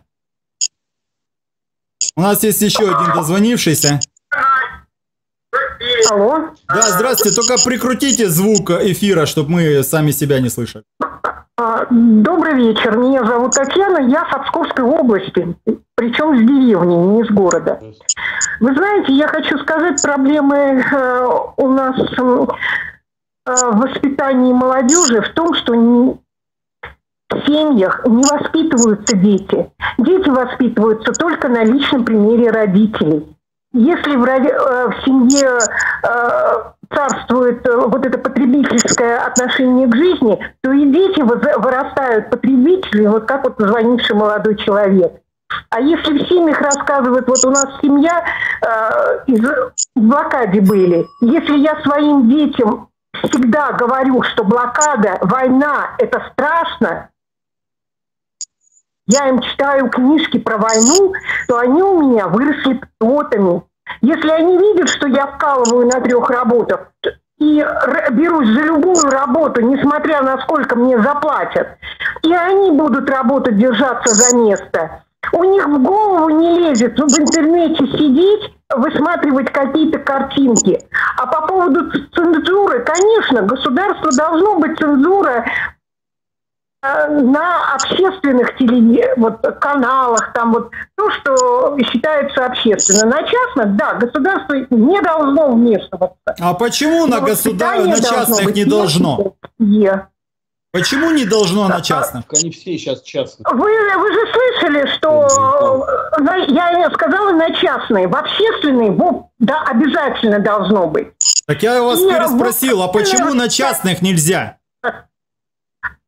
А, ну, я имею в виду вот блогеры, вот это все такое. Да, если они ведут э, явную такую, да, пропаганду по поводу там, ну, скажем, гомосексуальности, и то я вот э, отношусь э, к этому движению довольно-таки спокойно. Я имею в виду вот нацистскую проповедую, террористическое что-то. Да, вот тут государство должно закручивать гайки. А остальное, да ради бога, пускай. Понимаете, у нас ведь люди-то все равно не дураки.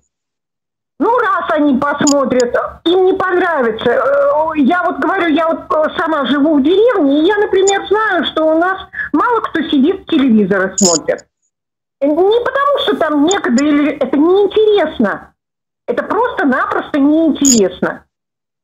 Вот. И э, да, должно обязательно быть в школах, в садиках воспитываться именно патриотическое воспитание, рассказывать о войне. Вот у нас в селе э, есть место, дом, который фашисты загнали 132 человека и сожгли. Знаете, что самое интересное?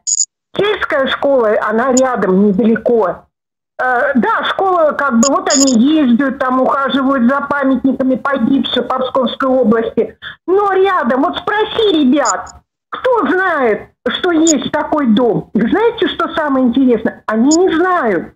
Я когда первый раз сына провела на это место и показала, и рассказала, что было на этом месте, он был в шоке. Он говорит, мама, нам никогда никто не рассказывал. Ну вот, это как раз то, о чем я говорю. Вот, это, это обязательно должно быть в школах, в школах, в садиках. Ну, сейчас, э, понимаете, вот у нас все Путин, Путин, но вот мое личное мнение, это мое мнение, что человек должен свою жизнь делать сам и не зависеть от государства.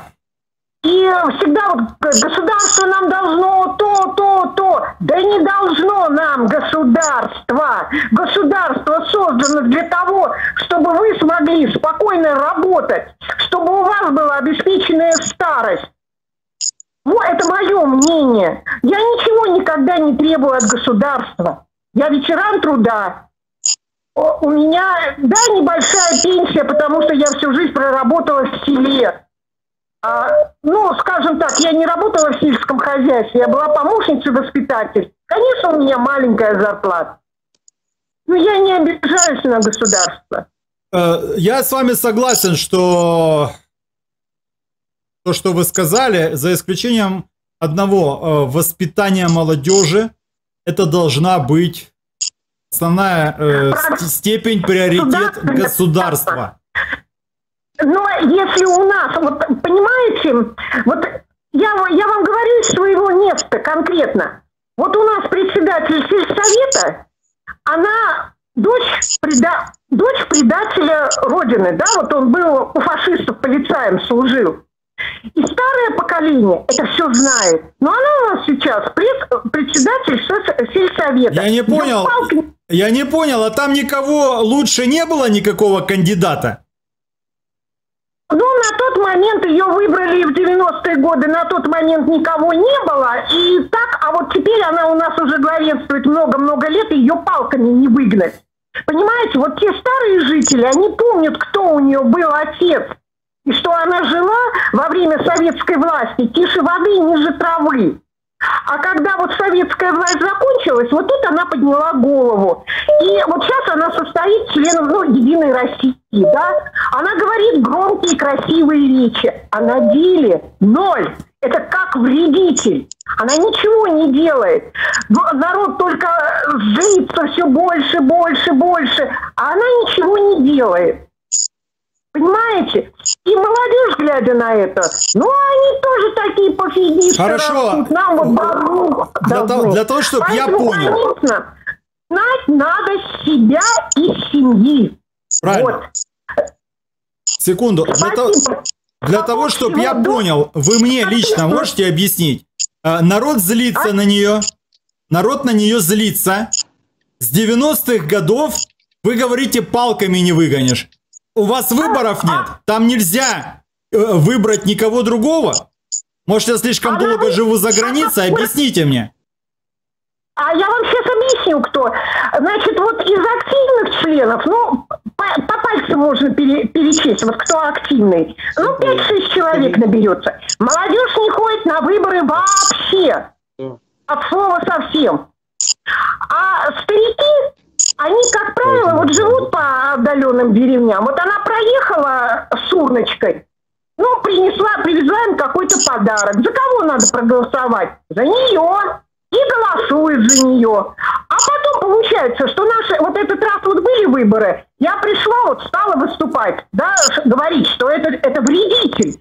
Он портит лицо Единой России. Почему начинают ненавидеть Единую Россию? Потому что вот из-за таких людей, которые ничего не делают, Конечно, получается этот. Ну, послушали, послушали. Ну, убрали ее с председателей.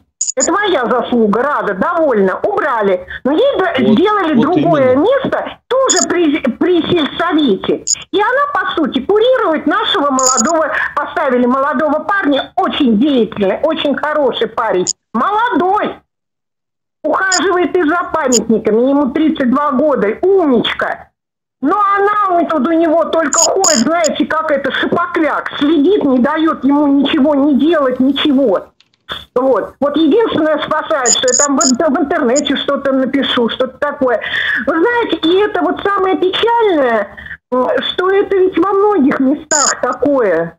Очень во многих местах. А, хотя, хотя я хочу сказать, что изменения очень большие пошли и в патриотическом. Сейчас начинают воспитывать детей. Начинают. Но уже, к сожалению, два поколения потерянных. Вот у меня сын 90-го года. Это такой нигилист жуткий. Но благо мы с ним перевоевали, наконец-таки он стал понимать, что Навальный это зло. А то вплоть до скандала было. У нас тема Навальный было табу в семье чтобы не было скандалов. Но сейчас он начинает прозревать, что это, это, это плохо. А младшие, ну тут уже я пустила все, все свои силы, возможности. Когда у него стали мозги не в ту сторону сходить, я его повезла в Брестскую крепость и показала ему наглядно. Он месяц ходил, как мешком по голове ударивший. Он перечитал все книги про войну. Сейчас это такой фанат военной темы. Он поднял наших предков. Он э, решил в этом бессмертном полке ходить. Понимаете? Вот все идет от семьи, и меня в этом никто не переубедит. Если, извините, родители э, там этот приходят и начинают хаять правительство, какое правительство такое секое нам маленькую зарплату делает, ведь в голове этого ребятенка-то это накручивается. Поэтому потом такие речи, что нам мало платят. Вот и все. Все начинается с семьи. Если она, мама, выступает там, ой-ой, так это, а в семью приходит, да тот-то он такой щекой, да тот-то то сделал неправильно. Поэтому, знаете, ведь дети, они на вот это лицемерие, на двухличие, они ведь очень чувствительны. И самое обидное, что они берут-то плохое, хорошее, они берут, когда родители показывают это личным примером. Совершенно вот. верно. Бунтари, Бунтарей в семье очень-очень мало. А, я имею в виду детей. У нас вот была семья, например, пьющая, а ребенок молодец, закончил военное училище, но он сказал, я никогда не буду больше пьяни, я не буду пьяницей. Он закончил военное училище, сейчас офицер. Вот. А вот таких мало. Мало таких. Хотя он в 90-е годы состоялся. Хорошо, спасибо, Поэтому... спасибо. Это это очень замечательно, что вы дозвонились и все это сказали. Я вас подписываться и рекомендую всем ваш канал. Вы очень интересные. Вас интересно смотреть и познавательно. Успехов вам в развитии. И больше подписчиков. Всех благ. Берегите Спасибо. себя и своих близких. Спасибо. Мы стараемся. Да, спасибо. Сейчас, Богдан, секундочку. Я хочу просто сказать э, по поводу Единой России. Зайдите на сайт Единой России, там есть Высший Совет Единой России. Вот я даже сейчас то же самое сделал. Напишите туда письмо, все, что вы сейчас сказали, все свои соображения напишите. Проведут проверку, они действительно реально работают. И всякую шушеру, которая тянет их вниз, они ну, просто вот легко достаточно от них избавляются я вам рекомендую написать туда письмо. Сережа, ссылку Прямо мне потом письмо. скинь, я, я прикреплю эту ссылку. Потому что, ну вот, э, то, что сказала женщина, ну, э, действительно правильно она сказала. Я не, я не могу ничего здесь сказать, что она сказала хоть что-то неверно. Вот, единственное, что э, надо больше активности. Женщина молодец. Понимаете, если бы она ни хрена не делала, то вот эта бы зараза до сих пор бы сидела там э, и управляла. Она да, молодец. Да, да, именно так. Но это еще раз доказывает то, что если делать, то все работает. И все вот эти вот упоротых заявлений, что куда ни пиши, что не делай, это бесполезно. Вот это еще раз доказывает, что это не так.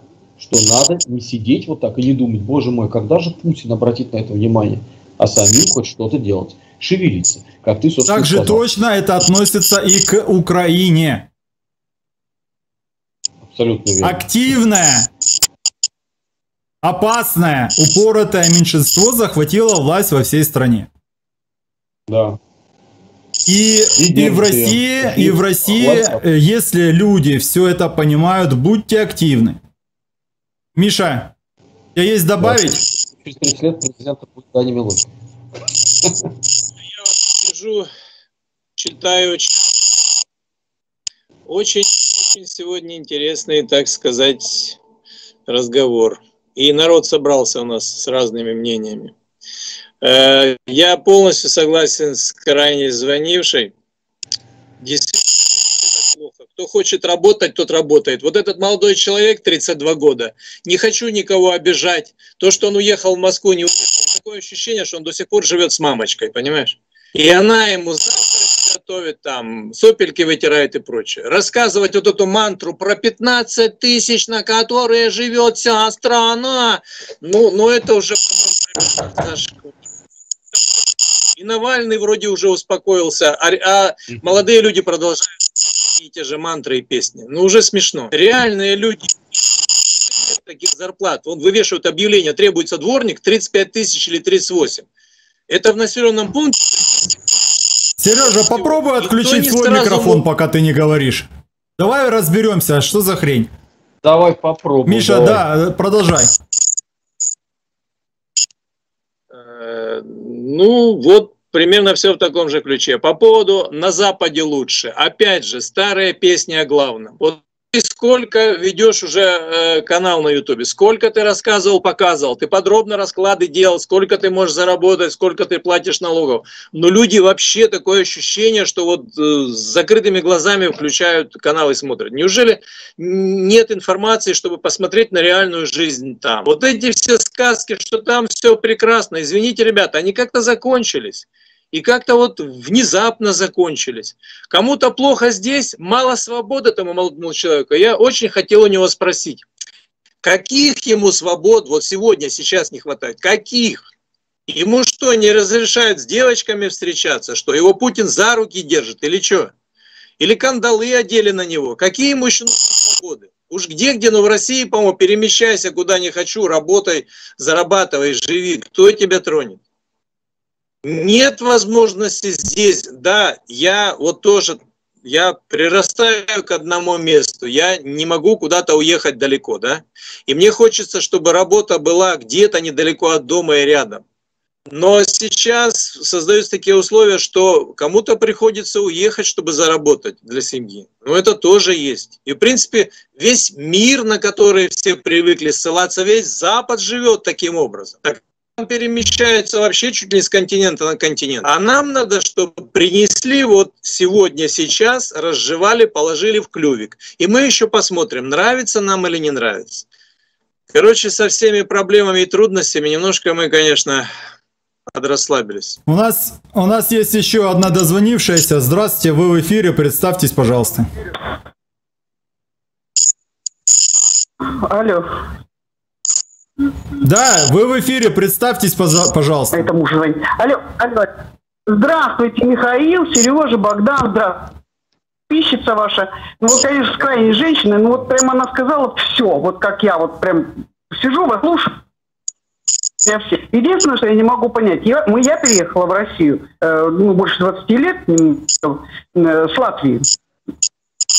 Настолько удивлена, я никогда не жила, я не видела ее. Я настолько была в шоке, когда сюда переехала, что вот как э, мне рассказывали про эти зеленые электрички, про эту колбасу, там в Москву ездили, вот это все. А я жила там хорошо, пришлось бросить комнатную квартиру, все вот сюда переехать. Переехали. И вот сейчас за эти 20 лет я почему-то, я вижу, как меняется Россия. Мне столько интересна Россия, я ее уже столько объездил, вы даже себе представить не можете. Вот, ну, крайне у меня Новосибирск был, там, Утлау, Казань, Санкт-Петербург, несколько раз Москва, там, Балаам был, вот, Донбай. Вот мне интересно, я, я же вижу, как она развивается. И я настолько не понимаю, то ли это э, у русских принято, я вот придумала так себе, что вот они все ноют, потому что, ну, лишь бы не сглазить. Вот мне так почему-то... Они не видят этих изменений. И я в прошлом году так испугалась. У меня, во-первых, расскажу, вот у меня, например, 35 и 34 года. Они выучились. Представляете, как их тяжело было учить в начале 2000-х? Я красный диплом университет закончила. Мы выучили, у меня двое внуков. И вот ничего в России нету, ничего. У меня внучка пошла в новый садик, внучок пошел в новый садик. Внучка сейчас ходит в новую, шикарнейшую, лучшую в городе сейчас школу. Ну как этого можно не видеть? И я в прошлом году очень испугалась, когда вот это вот мы принимали поправки, я их все прочитала с маркером, все выделила. Может, что-то не поняла. Мы это с мужем обсуждали. Хорошо, что он вот меня поддерживает, и подружка у меня близко. А с другими-то друзьями поебало. Мы, раз, мы разругались. И они умнейшие люди. Причем, чем вот они богаче, мы приехали сюда с нуля начинали, вообще с нуля. Никого вообще не знали в этом Воронеже, вообще никого. Они почему-то, чем богаче, тем они больше нулют, тем у них все плохо. Я когда начинаю вспоминать, мы вот по 20 лет как познакомились, так и дружим. Не было разве такого? А вот так вот не было. Хлеб у меня денег не было, все все прекрасно помнят. Я думала, может быть, у них уже беспамятство началось. Люди все-таки к 60. Вот этого понять, почему никто ничего не видит. И я все время думаю, вот вы все говорите про идеологию. Михалкова очень уважаю, очень люблю. И он тоже. Но я не понимаю, если ты так кричишь, если ты так бьешь колокола, ну тебе же легче наверх это донести. А вы же, они же там, вот я смотрел этот круглый стол, они там все и Богдасаров все правильно говорите. Ну почему, если вы ничего не можете сделать, я согласна, что зависит все от нас. Вы не пробовали начать все с себя? Я настолько вот в ужасе, как ну, вот с мусором здесь, вот так и до сих пор не могу привыкнуть. 20 лет прошло, что вот можно это все бросить, что вот я утром выхожу, так все, все чисто за ночь убрали. Вечером иду с работы, ну опять такой же. Ну как так? Ну как? Я не понимаю, как так люди живут, зачем живут. Поэтому идеологию я не могу себе придумать, например, вот, ну, вот какую им предложить идеологию. То, что все из семьи, полностью согласна. Если вы дома если вы дома всем недовольны, ваши будут дети точно такие же. Алло. Да-да, мы вас, мы вас слушали ну, внимательно. А то у меня такой монолог. Не-не-не. души, Богдан. Мы вас души. слушали абсолютно внимательно. Вы видите, никто вас не перебил. Спасибо. Спасибо, спасибо вам спасибо. за, за Поэтому то, я вы... очень вас всех поддерживаю, Сережу, Мишу, всех. Вот все мы правильно говорим. Ну все, ну вот как, как не знаю, как куда это все уходит.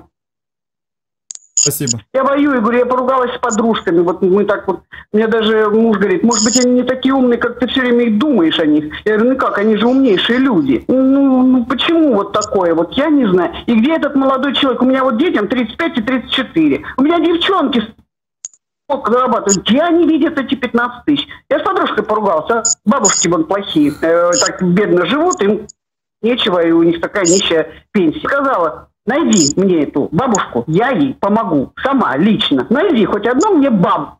Вот, вот, вот мы помогаем. Молодец. У меня родители живы, у мужа родители. Дай мне эту бабушку, я ей пойду куплю, что ей надо, накормлю ее в конце концов. Все, все говорят все время о каких-то вот 15 тысяч. И на Западе. Вот я говорю, у меня с моего, с моего класса 30 человек, у меня в Латвии два человека осталось. У них нет внуков. Ну, вот у нас уже у всех есть внуки по, по возрасту даже. У них все дети за границей. Они сами за границей. На каких-то рыба э, этих обрабатывающих заводах в этой Англии, в Норвегии. Нету, говорит, вообще, вот нету будущего у Латвии. Мне ее очень жалко. Ну, Я там ну, и выросла. Но несколько минут назад дозвонившийся говорит о, о том, что он хочет так, как в Прибалтике. Что бы вы ему ответили сейчас? Вот. А вот пусть он туда съездит. Вот мне моя подружка, я же они же действительно, они тоже никогда не были в России. У нас такая смешная история получилась, я вам на, на 3 секунды вас задержу. Они, значит, мы решили, она мне говорит про каких-то снегирей. Я думала, она шутит. А им правда там чего-то такое говорят, про нас показывают всякое. Говорю, давай вот так сделаем. Говорю, вот я выхожу, И я иду и снимаю ей онлайн. Я иду на работу. Я показываю свой район. Я в торговый центр заходила. Вот все ей показываю, как у нас жизнь. Она идет. Вот вы можете представить, вы на работу и можно не встретить ни одного человека. Вот ни одного. Это Прибалтика. Все закрылось, все работа, да, раб, ну, это Венспилс, я Хорошо, имею ладно, Там мы спасибо. когда было 75 э, тысяч. Спа- спасибо. Пожалуйста. Так что, ребята, все зависит только от нас. Пока мы сами за себя не возьмемся, дети у нас будут точная копия нас. Правильно? Пока мы сами за себя не возьмемся, дети будут ко- э, точно копия нас. Пока мы не будем э, беречь э, окружающее, то, что вокруг нас, э, выходить в парке, убирать за собой. Э, у себя во дворах, пока мы не научимся э, соблюдать чистоту, э, никто за это, никакой Путин не придет и не подметет. Все правильно говорят, все. Но какие-то вещи Сейчас, секунду. То, что сказала эта женщина, я говорил многократно о том, что в России действительно есть колоссальные изменения к лучшему. За это, именно поэтому, я руками, ногами, всеми частями тела за Владимира Владимировича, потому что я вижу результат. Да, я не живу в Канаде, но я настолько э, интересуюсь э, тем, что у вас происходит, я это вижу. Вот у себя в Канаде я этого не вижу. Каких-то изменений к лучшему. У вас вижу. Это радует. Это замечательно. Но есть еще вещи, о которых я говорю, надо эти вещи тоже улучшить. Я не всепропальщик. Я не говорю вам сейчас здесь, что все плохо, все, пипец, сушите весла. Но есть вещи, которые надо улучшить. И, а это зависит, на мой взгляд, от нас. Я обычный человек. Обычный человек, который вместо того, чтобы сидеть, я не знаю, сейчас э, пойти э, гулять э, с собакой, тут мне тут дом красить надо. Я с вами разговариваю. Я уже больше пяти лет занимаюсь блогерством для того, чтобы что-то сделать. Стараюсь как могу. Вы можете представить, если основная масса людей, я понимаю, все не смогут такими быть. Но если люди будут как эта женщина, которая не сидит на жопе ровно, она что-то делает. Сергей сказал, можно жаловаться. Жалуйтесь. Э, э, По э, поступкам этой, эм, о которой говорили, что у нас Единая Россия, нельзя судить о всей партии.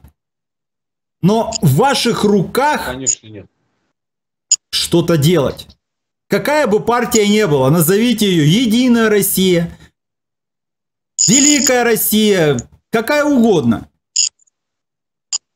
Все равно будут те, кто будут идти туда за своими личными Совершенно благами. верно. Их нужно выявлять и убирать. А кто это может сделать? Только мы, люди на местах, которые находятся и видят все это.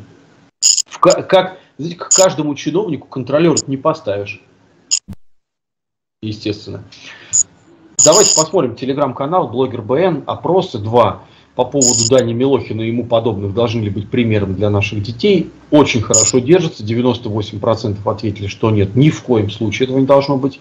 1% что да, он должен быть примером, и 1% ответил, что им абсолютно пофигу, что происходит в нашей стране. Второй опрос по поводу цензуры, нужно ли возвращать в СМИ государственную цензуру. 85 утвердительно ответили, что нужно, 15% ответили, что нет.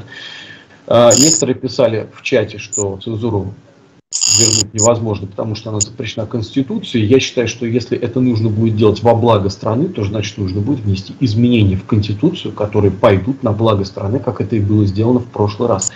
Сейчас внесли в том году изменения в Конституцию, в которой Либерасня увидела только одно – обнуление сроков Путина. Другого они там ничего не прочитали и не увидели, потому что им было просто это невыгодно читать, поэтому я думаю, что изменить Конституцию в части э, цензуры, я тоже думаю, что труда, труда не составит, если это будет целесообразно для нашей страны. Правильно же? Надеюсь, во всяком случае. У нас есть еще? еще дозвонившийся. Здравствуйте. Еще есть? Вы в эфире. А, Добрый, добрый день, добрый день, гости. А, Меня зовут Игорь, я из города Мытищ. А, Я просто свой взгляд на то, что, о, о чем сейчас говорят люди, и небольшого спросить совета, да, у, э, у ваших гостей. Я вот э, уже некоторое время заметил, что я не могу разговаривать со своими друзьями на, да даже не то, что на политические темы, ну вообще, потому что так или иначе все уходит куда-то в политику. Ну, например, вот последний разговор, вот вчера у меня был с близким другом э, по, по институту. Он жалуется, что у нас в России все очень плохо. Его как предпринимателя давят. Э, В частности, он рассказывал, как у него закрыли все карточки за то, что он не заплатил налог на машину. Вот. Машина у него несколько в семье. В частности, он не заплатил за свой Lexus. Вот. И вот я сижу и думаю, да, вот как ему вот, вот сказать, что, ну слушай, ну вот ты свой Lexus, да, вот не- у тебя машина, это явно машина не, не простого, как сказать, гражданина России. Она дорого стоит. Неужели ты не можешь найти эти деньги? Вот. Очень так вкратчиво ему спрашиваю такой вопрос. Он, г- э, он говорит, нет, у меня есть эти деньги, но они наличкой, да, а мне заблокировали все карточки. А в карты я этот, а наличкой я платить принципиально не буду. Я Могу даже представить, знаю, если как, бы я э, в Канаде не заплатил какие-то налоги. И причем еще принципиально. Да. Вот, вот, А вот можно, а- а дальше вот слушайте, да, что я вот рассказываю. И вот, ну, вот я разговариваю с ним, да, а он, ну, про- ну, часто созваниваемся, он сейчас летит в, в Грузию а- отдыхать. Ну, ладно, выборы его там грузинам, да, все помним, как встречали наших там недавно, э, нашего там телеведущего одного знаменитого. Вот. И вот слово так за слово я ему говорю, а что вот в Грузии ты при... и Он хочет там в Грузии жить остаться, говорит мне. Типа там хорошо, там предпринимателей не мучают. Я говорю, что, что там разрешают это, предпринимателям не платить налоги? Он говорит, э, ну, как бы молча начинают как вот всю те- тему переводить, что там никак не, это, не ущемляют, там свобода и прочее, прочее. Я могу это, я ему говорю, ну слушай, ну налоги-то же везде надо платить, и, и тебя по головке не, пла- не, не- не погладят, а в Америке даже тебя за это в тюрьму посадят. На что он мне отвечает, что типа у него в Америке много друзей и никого еще не посадили. И типа и там такая свобода, делай что, вот, не хочу, платят типа налоги. х- хочу в Америку ехать. Так Вот, вот, знаете, сейчас Сергей сказал, вы не услышали, это потому что там все платят налоги. И никто не выпендривается. Ой, я не знаю, вы знаете, я говорил как-то фразу, самая влиятельная организация в мире это дураки. У них везде свои люди. Вот, понимаете, я не могу, не хочу ссориться с, с людьми, со своими друзьями, да. Я не хочу, с другой стороны, меня прямо вот так вот воротит э, от, вот от их взгляда на жизнь, что ну вот он переедет. Что ему там лучше, чем там ему лучше будет? Вернется же в Россию. Э, Точно так же по ковиду так- такие же меня возникают, возникают вопросы, да, как бы начинаешь разговаривать, да, с людьми, ну просто не понимают тяжело переболела, сейчас у него антител нет, вот недавно с девочкой разговаривал, да, но прививаться не пойду. Это повлияет на мое здоровье. Ну как так можно, да? Я знаю, да? И вот это вот массовая, массовая такая вот, не знаю, откуда берется эта пропаганда, да, вот этого антипрививочная, что у нас так в России все так плохо. Я, я понимаю, что это только враги пропагандируют это. Я не понимаю, как с этим бороться, потому что, ну, мне кажется, правительство не сможет, и государство не сможет влезть, там, не знаю, в телеграм-канал, там, да, вообще все соцсети, как-то это обрезать и что-то с этим делать. Вот. Я понимаю, что это невозможно. Общение вот таких вот близких вот людей, да, вот казалось бы, да, у меня вот нет детей, да, вот женщина звонила, что она учит своих детей, у меня нет своих детей, да, и по- ну как, детей нет вообще, да, и я как бы не могу вот сказать, что да, я своих учу. А вот с, с друзьями, с близкими я не могу разговаривать, потому что это точно придет к разрыву отношений.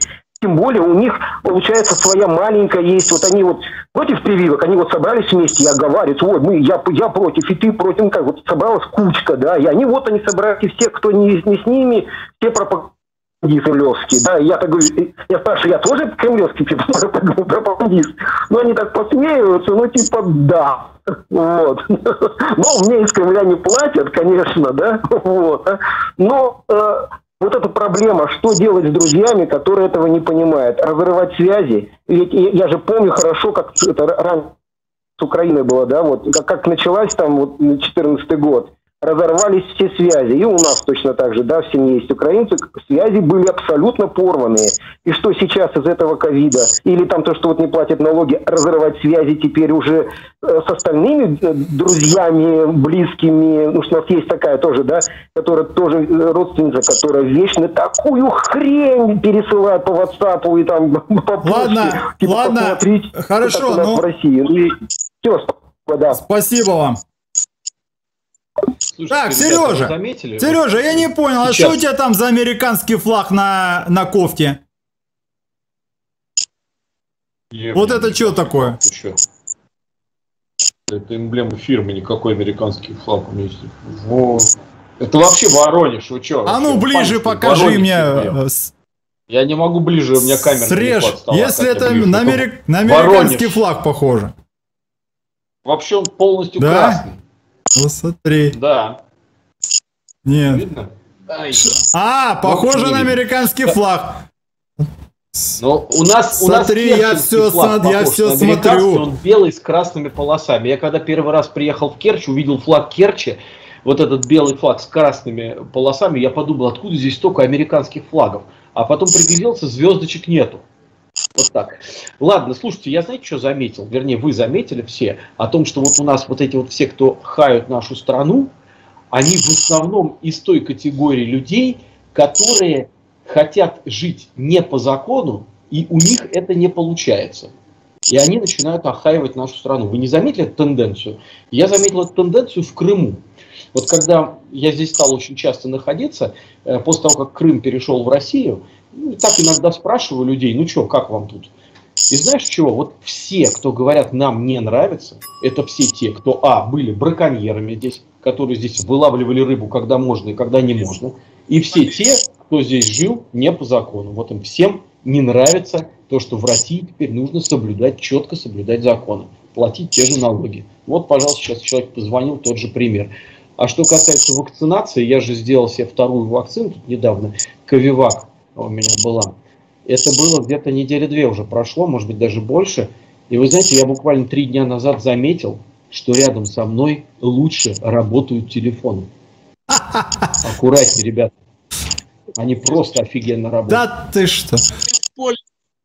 По поводу... По... Сейчас, Миш, подожди. По поводу, по поводу вакцинации, вы знаете, у меня тут такое неоднозначное э, мнение, э, так как э, зрители должны понимать, прежде всего, э, у меня нет возможности вакцинироваться ни одной из российских вакцин. Э, к сожалению, я пока не смог э, добраться ни до одного э, специалиста, которому можно было бы доверять для того, чтобы задать ему вопросы, поэтому мое отрицательное отношение э, к вакцинам э, прежде всего относится только к западным. Э, С российскими я сам еще не до конца понимаю, что и как. К западным... Да, Миша? Богдан, нас двое против тебя. Мы двое вакцинированы. Так вы в России живете, дорогие мои. Приезжай к Да, приезжай. Да, Тут уже, Богдан, тут уже не доедешь. приезжать. На укольчик. Так, ну что, у нас еще, слушайте, у нас тут э, движуха Щас, пошла. Подожди, мы, мы, еще, мы еще не рассказали же про э, нашу, слава богу, не прошедшую Волкову в Госдуму, вернее, на праймеризе. Это же был просто, это же очередное дно, вот, да, о чем наши Да, я показывал в видеоряде. знаете, что это, да, певица из Тату, она же собиралась, значит, пойти в Госдуму, заняла, насколько я знаю, 15 место на праймеризе из 17, боже мой, еще кто-то за нее проголосовал. Но тут ее очень хорошо э, показала Ксения Собчак, за что ей, в принципе, спасибо, даже можно сказать, когда она показала с ней интервью и дала нам понять всем, кто пытается прийти на выборы. То есть она ее затроллила этим законом э, Димы Яковлева, да, знаем мы этот закон, я надеюсь все, что закон Димы Яковлева это по поводу усыновления наших детей гражданами США.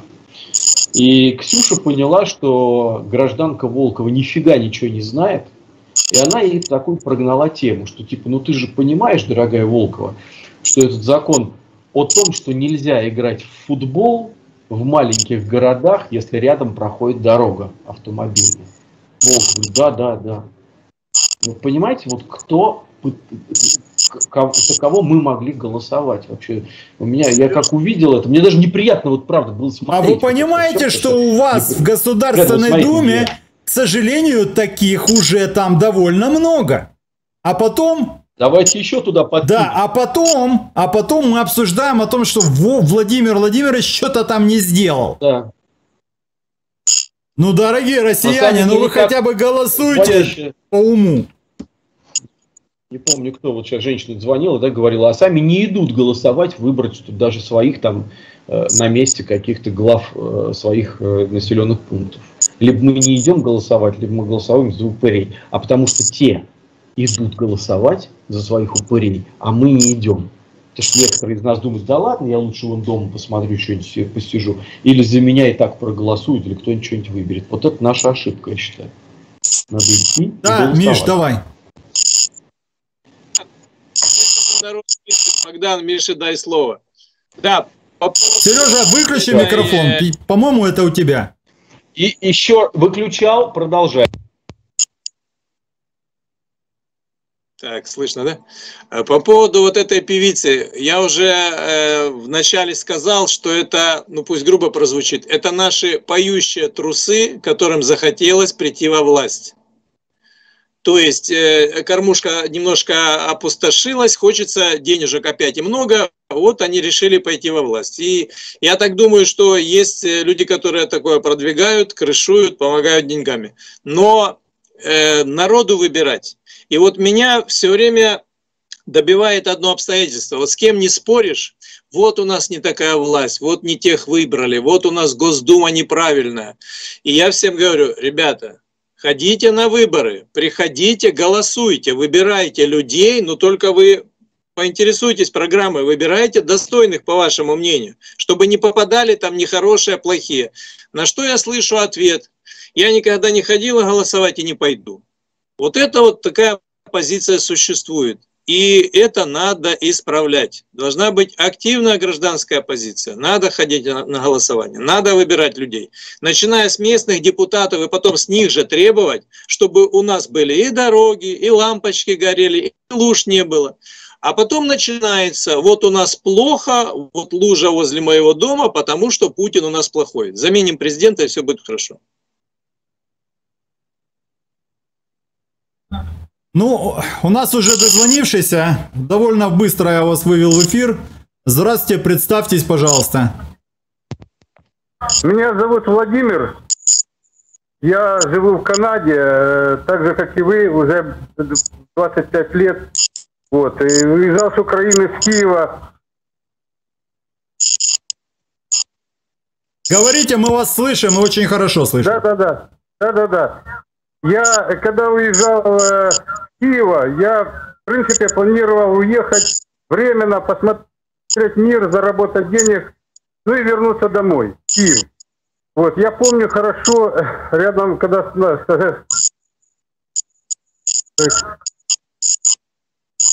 Отключите, пожалуйста, звук эфира у вас там, потому что мы немножко слышим. Ну, значит, э, рядом со мной стояли люди, которые э, на визу, на визу в Канаду, э, так сказать, оформлялись, просто типа поехать в гости или посмотреть туристически. Я помню, одной женщине отказали, она вышла заплаканная, прямо для нее трагедия, я не знаю, в ужасе, ей отказали виз. Я ее прекрасно понимаю, поскольку в Советском Союзе у нас была закрытая граница, люди всегда считают в менталитете нашего человека – вот где-то есть рай. Ему обязательно нужно знать, что где-то есть рай. И вот, вот он никогда не откажется от этой картины. Ему кажется, что вот его жизнь скучная, однообразная, тяжелая, он мало зарабатывает. А вот где-то на Западе, где-то там за океаном, он смотрит на эти пальмы, на вот эту западную рекламу. Я 25 лет живу здесь. Я знаю, какая тяжелая, рискованная жизнь здесь. Как это все... Я вылез практически, ну, случайно, просто выкарабкался, чтобы тут у меня было вообще желание э, первые, первые годы, когда я работал на черных работах, когда я получал копейки, не мог где заплатить за квартиру, и мои деньги, что я привез, продал квартиру в Киеве, быстро истекали, я вообще понял, какую громадную ошибку я сделал э, тем, что приехал сюда. Недавно я ехал э, в машине, ну, здесь в Канаде, естественно, и по радио рассказывали, канадцы же рассказывали, что голливудские фильмы контролируются э, э, американскими спецслужбами. То есть специально, значит, под те, темы деньги подбрасываются, чтобы специально создавать образ жизни в Америке. Но ничего этого нету. Жизнь скучная, тяжелая, однообразная. Теперь основная жизнь в России, ну, в Советском Союзе, как, как какой-то, блин, вулкан, как интересно какую-то жизнь. Те же вот работа, работа, платишь все эти квитанции. Если тебе повезет, если ты все заплатишь, ты счастливый человек. Западный человек, это, вообще говоря, раб, полный раб. Он, он настолько, ну, настолько ему мозги промолотили, вот, э, значит, насчет свободы слова. Какая свобода слова? Я сейчас смотрю, я сейчас смотрю, я думал, что я приехал в свободный мир, и вообще здесь свобода слова. Как я понял, все перевернулось.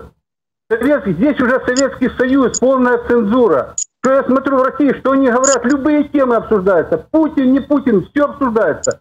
Реально, я вижу, насколько теперь Советский Союз стал то, что мы стали Америкой, и там все обсуждается. И насколько Америка превратилась в Советский Союз. Это просто поразительно. Но наши люди это никогда не, не примут. Они никогда не примут, им все время, потому что им нужен рай. Вот идея рая, что где-то рай, а вот ему плохо, вот ему скучно, тяжело, нету. Здесь это все забито в плане бизнеса, все забито, схвачено. Здесь какая какая свобода бизнеса? У нас я работал в большой компании, в магазине, которые продавали холодильники. У них был заключен контракт с какой-то компанией, которая производила холодильники. И только они могли покупать только холодильники с этой компании. И той компании, которая производила холодильники, было условие. Если они продадут, даже если им выгодно кому-то э, продать на сторону холодильники, э, эта сеть магазинов сразу с ними прервала контракт, поскольку не хотели, чтобы этот бренд был только с ними. То есть все перепутано договорами, все условно. Никакой свободы марки, свободы рынка или чего-то нету. Поэтому этот бред, вот этот, но нашим людям нужно знать, что где-то рай, вот у них все плохо, там тот ворует, эти начальство ворует, даже ворует. То, что везде происходит, воруют, только все везде гладко, здесь просто законы лоббирования, это официально лоббирование. Но все то же самое, человеческий менталитет. Если ты будешь срать у себя в подъезде, если ты не будешь шевелить задницей, не будешь наводить порядок у себя дома, ничего не будет. Приедешь на Запад, ты здесь никому не нужен, ты одинок, ты сражаешься, молодые ребята не могут найти себе пару, жениться. Тут вообще, ну, понимаете, это совсем другая планета. Они думают, что будет точно так же, как у них как у них в России, только они будут получать 10 раз больше. Расходы останутся те же самые, они просто будут 10 раз больше получать. У меня куча друзей, программистов сейчас, у меня, э, которые в машине живут, человек живет в машине, просто в машине, хотя он программист. Это все здесь очень тяжело, и нужно вкалывать, если тебе повезет, все будет нормально. Минимальная там зарплата, деньги раздают. Но эти деньги ты не выживешь. Но это разные планеты. Но наш человек никогда не откажется от идеи рая что вот здесь он будет смотреть эти фальшивые картинки, как там люди улыбаются фальшивыми улыбками, что здесь все хорошо. Он не будет видеть людей в Калифорнии, которые лежат на, э, на голой земле, когда ночью в Калифорнии холоднющие. Днем жара, я там месяц был, жил в машине, потому что там разрешают там машине, потому что там бездомных полно. Я видел этих людей, это пытка, это просто как гестапо немецком спать на голом земле. Я все это видел. И этот человек рассуждает, что вот на Западе, я помню, что я точно таким же был. Я понимаю эту женщину, которая в канадском посольстве э, рыдала, как страшное горе ее семье случилось, что она не получила визу в Канаду. Потому что всем нам казалось, что вот там вот рай. Вот там рай. Вот если туда попадешь, там рай. Вот этот менталитет, он неизгладимый. Наш человек все время бьется в эту стенку. Это огромный риск для России. И она может просто рушиться просто от этой глупости. Вот этой глупости, понимаете? Я закончу. Спасибо большое. Спасибо большое. Кто звонил, тот Я очень благодарен, Сережа, извини, тому, что этот человек позвонил. Пять лет я говорил то же самое. И не только говорил и показывал. И мне кажется, мне казалось всегда, что это настолько важно для того, что я могу кого-то уберечь, спасти, помочь стране. Но у меня не 20 миллионов подписчиков. Мне, 20 мне не надо 20 миллионов подписчиков. Я 5 лет это делаю, в общем-то, на голом энтузиазме. Я даже, вот Сережа говорит, донаты проси. Я даже про донаты не говорю особо. Кстати, э, вчера не Олег, а Ольга. О, Да. вспомнил. Э, э, прислала э, донат. Я, я благодарю. Дорогие друзья, я просто здесь всем э, в этом эфире руковожу. И я даже не всегда вижу. Я вижу там, я извиняюсь за имя. Вот, но, понимаете, мне не надо 20 миллионов подписчиков, чтобы я стал миллионером. Мне не надо. Мне надо то, чтобы люди узнавали как можно больше правду. Но меня поражает то, что люди, как будто бы им это не надо. Действительно поражает. И, естественно, меня это не приводит в какое-то вот такое вот положительное состояние, потому что то, о чем сказал сейчас звонивший, это еще со времен э, Пушкина, понимаете, за морем, а как там за морем? За морем житье не худо. Это, наверное, наша э, национальная какая-то особенность. Кстати, э, у американцев я такую особенность ни- никогда не видел. Потому что они наоборот считают, что у них все самое лучшее, живут в говне, а считают, что так и должно быть. Богдан, знаешь почему? Одну фразу. Потому что им круглые сутки вот со всех Кстати, да. утюгов рассказывают, что они самые великие, они самые красивые, у них град на холме, они всем несут демократию, они поцелованы Богом и всем на свете и во все места. А у нас, у нас другой менталитет, у нас другая теперь фишка не говорят. сказки разные, понимаешь? У нас сказка какая? У нас главный герой Иванушка дурачок, который сидит, никого никогда не обидит и что-то ждет. А у них то Питер Пен, который мудрый, там, то семь гномов, которые там Кстати, что-то с интересная, Белоснежкой интересная делают. тема. Интересная тема. Вы замечали то, что российские, русские, вернее, народные сказки, там э, э, Иван дурак, э, там что-то сидят э, на печи, э, щука что-то принесет. А, нет, э, ни, ни- никто, никто не работал во всех сказках. Один Иван, и тот дурак. Все ели. Вот. Это, это неправильно. Это неправильно. Да. А, то, что вот а, вчера в прошлом а, моем эфире была прекрасная женщина Евгения, она сказала, единственное в чем американцы непревзойденные мастера это в маркетинге. Продать говно, сделать так, что это говно будет желанным, лучше, чем они никто не сделает.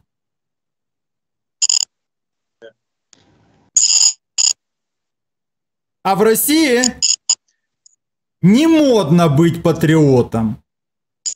Не модно сказать, что я там за, э, за Россию, не дай бог за Путина. Ой-ой-ой.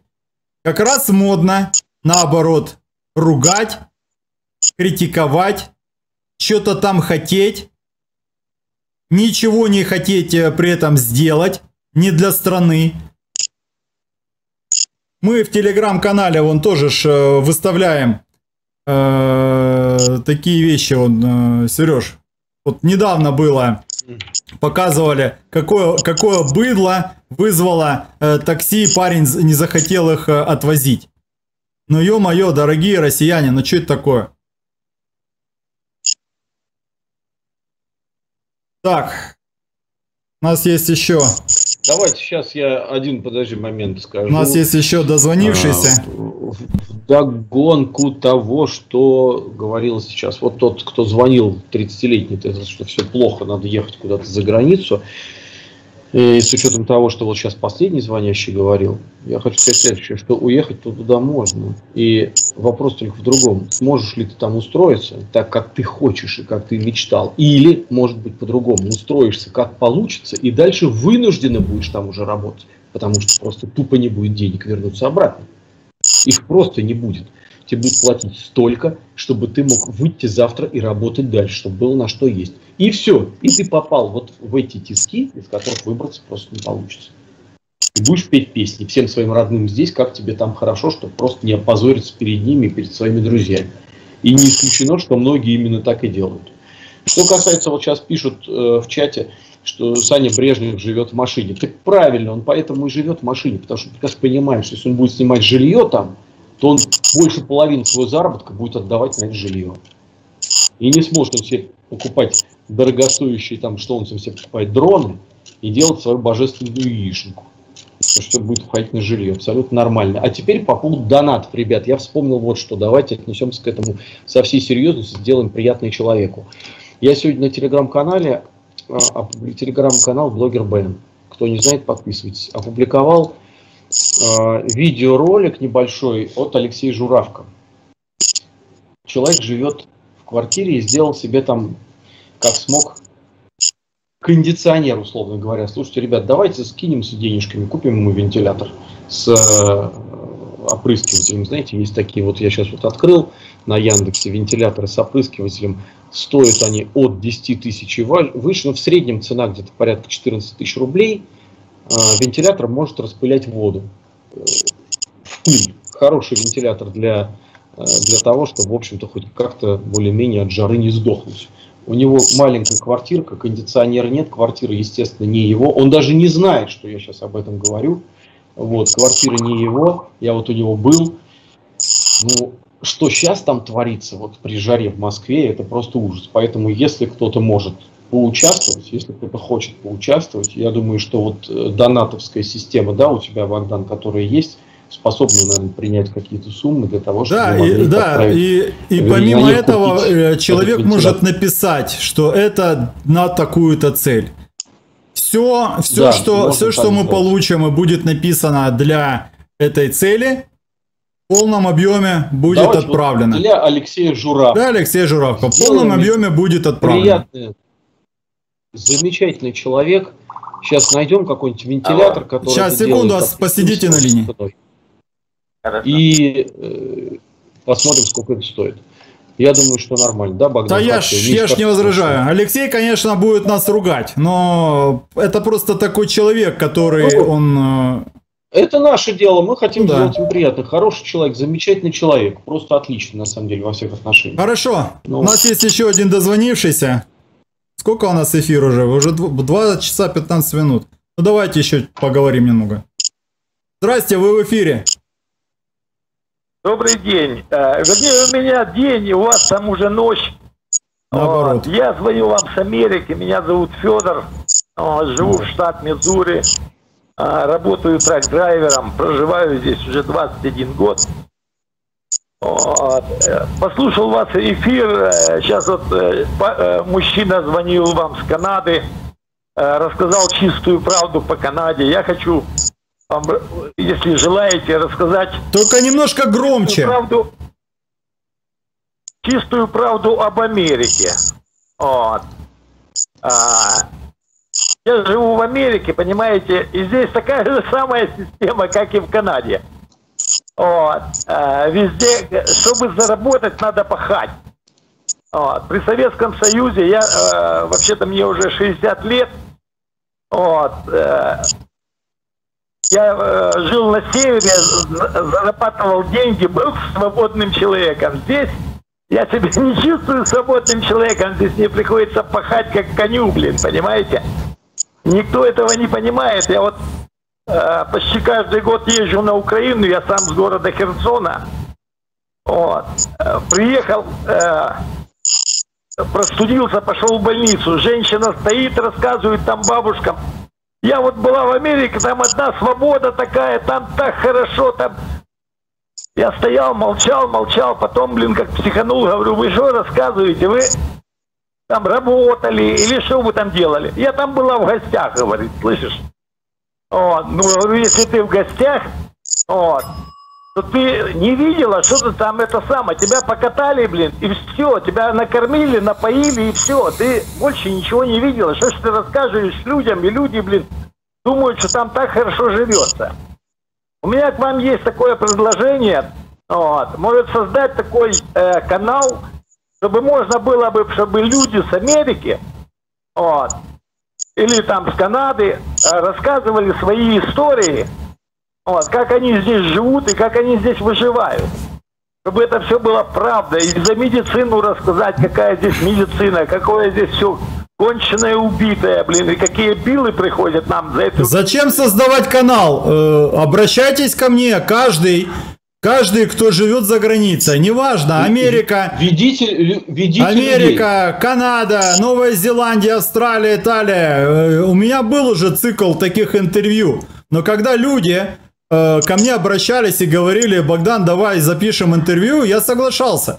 Но если люди не перестали обращаться, ну так э, давайте, давайте с вами напишите мне э, в ВКонтакте, в личное сообщение, э, ну или либо хотя бы здесь вот э, напишите, я э, обменяемся с вами э, контактами, выведу, выведу, сделаю вас... Э, Э, героем одного из моих э, репортажей. Поговорим без проблем. Поговорим. Поговорим, Богдан, это самое. Я просто к вам сколько звонил, никак не могу дозвониться, знаете. Это первый раз, что я дозвонился до вас. Вот. А так это самое. Я с удовольствием выйду, порассказываю всю правду, блин, как я начинал здесь, вот, какие у меня были проблемы, вот, сколько я зарабатывал и ну и все остальное, как говорится, по жизни, чтобы люди знали, что они, мы здесь не живем в раю. Мы здесь зелень с деревьев не, не дергаем. Да, ну, а ну, но... но... здесь очень тяжелый... Но я вам скажу, сколько я об этом говорил, и все равно. Ну ладно, сделаем еще с вами, с другими людьми. Хорошо, спасибо за то, что вы дозвонились. Спасибо, звоните Спасибо почаще. Всем привет. России привет. Спасибо. Спасибо.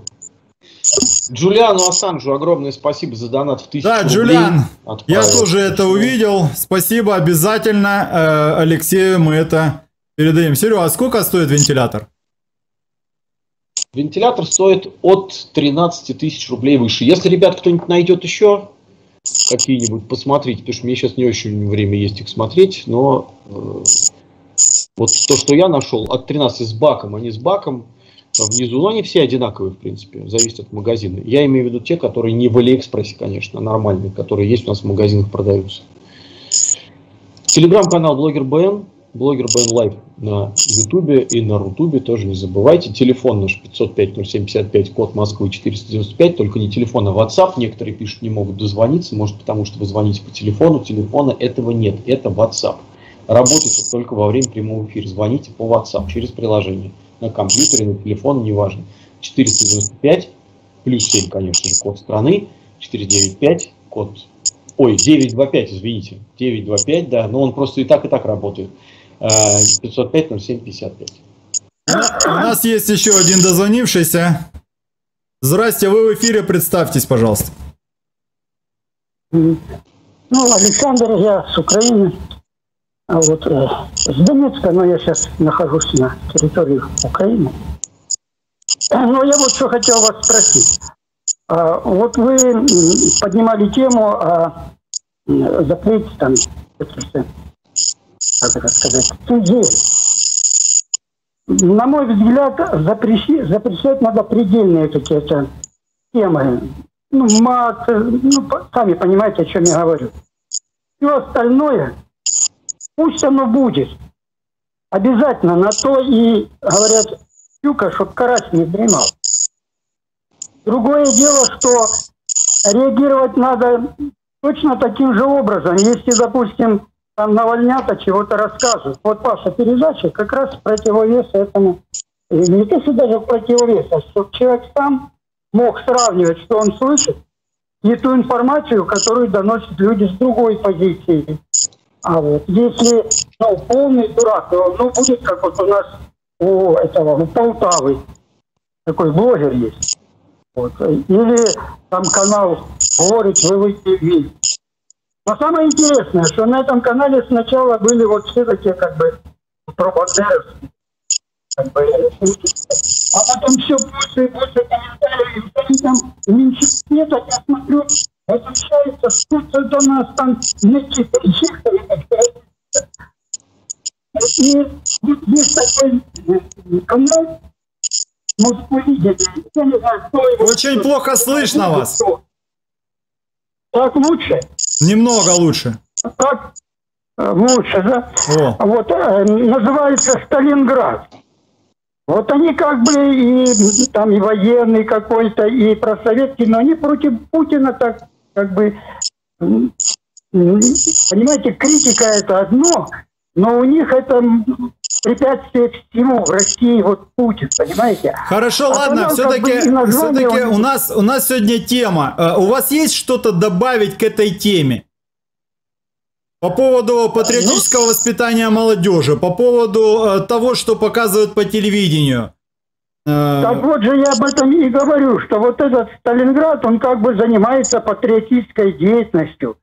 У них там, э, то есть то ли, вот если бы тоже прослушали их и начали бы как бы вместе с ними полемику вести или каким-то образом ну, разобраться, что это за Сталинград такой. Что он как бы под дымовой завесой вот советского какого-то такого начала, но у них э, Путин во всем виноват Путин, и вот там даже какой-то отсидевший военный э, вот за Ну, свои, слушайте, там, у меня нет, у меня нет физической возможности сидеть и разбираться в каждом. Для меня, э, я же сказал, Дело в том, что Сталинград, Сталинград, это не каждый. хорошо, я сказал, как- что э, Очень хитрая, э, хитрая пропаганда какая-то. хорошо. Еще хотел бы вам подсказать, можете это имя где-то отметить, подключить бы его к вам, он как раз по линии культуры, он даже то ли в Думе, настолько здорово выступал, Михаил Казини. Вот он бы мог бы нести определенную струю вот в ваше дело. Как еще раз повторите? Михаил Казини. Михаил Казиник с одним Н. Сережа, на- на- запиши Вот себе там Михаил Казиник. Да, в этом в скайпе, по-моему, с цифрой 51. Ладно, ладно, не, надо, не я надо нам нашел. тут сейчас э, Я, найдем. я нашел. Хорошо, спасибо за, за ваш звонок. Где его выступление? Так и напишите Михаил Казиник. Хорошо, Там хорошо. вверху так. Разберемся, Вверху спасибо. Ух, ну, ребят, э, еще раз хочу сказать, что э, я не могу, к сожалению, э, посвятить свою жизнь только за тем, что я буду э, разбираться, что там за Сталинград. Э, у меня, честно говоря, уже заранее, если есть э, какие-то такие вот э, наезды на, на Путина, у меня уже какое-то есть отторжение. Я только что вам сказал, что у меня есть, конечно, какие-то, ну так скажем, ну не то что претензии, а вещи, которые мне хотелось бы а, улучшить, ускорить. Но я никогда не скажу, что э, Путин плохой. Я, я много раз говорил о том, что страна, которая у вас есть, то, что у вас э, есть хорошего, те изменения, которые у вас произошли с 90-х годов, вы благодарны должны быть только этому одному человеку. Поэтому у меня даже как-то особенно не возникает желания разбираться в кто такие Сталинград, если они э, к Путину так относятся. Вот. Моя, моя как бы цель, задача, желание просто помочь. Не, э, в- не кричать надо валить его, надо э, менять его, а помочь ему. Потому что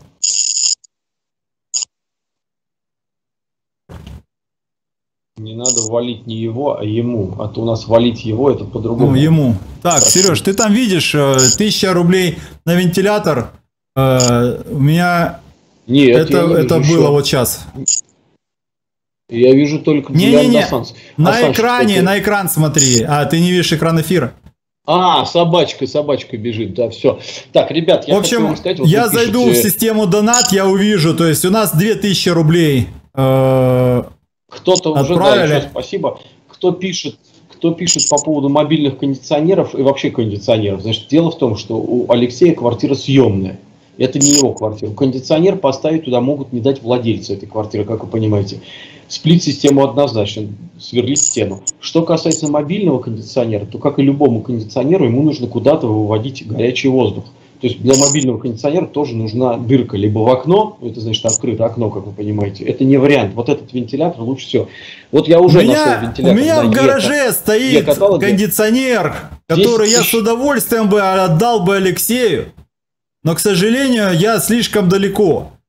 Э, Это такой мобильный Да, кондиционер, который на колесиках, у которого сзади есть труба, которая выходит в окно. Вот. Эту трубу можно было бы вывести в форточку. Э, У Алекс... Если она есть, Богдан, если она есть, не, не везде форточки есть сейчас уже. Ну, я понимаю, но квартира. все равно там есть варианты, можно, можно сделать. э, Даже в окно, которое открывается в сторону. Там, конечно, геморройно, но сделать можно. Поэтому... Я считаю, это, это, это ужас мобильный кондиционер. И течет он однозначно. Нет, ни- ничего там не течет. И, все равно от- открыто окно. Открыто окно. То есть теплый воздух равно поступает. Вот у нас Нет, там надо, там надо нет. окно, Ага. там надо окно э, пенопластом заделать, ту щель, в которую... Супер. Это, это не просто, когда... Если, как в Америке, откро- окно открывается наверх, то ты просто ставишь эту планку такую Да. и на нее закрываешь окно. Все. Все, нормально работает. То, что открывается либо наружу, либо вовнутрь, либо наверх, да, там есть сложности. Поэтому...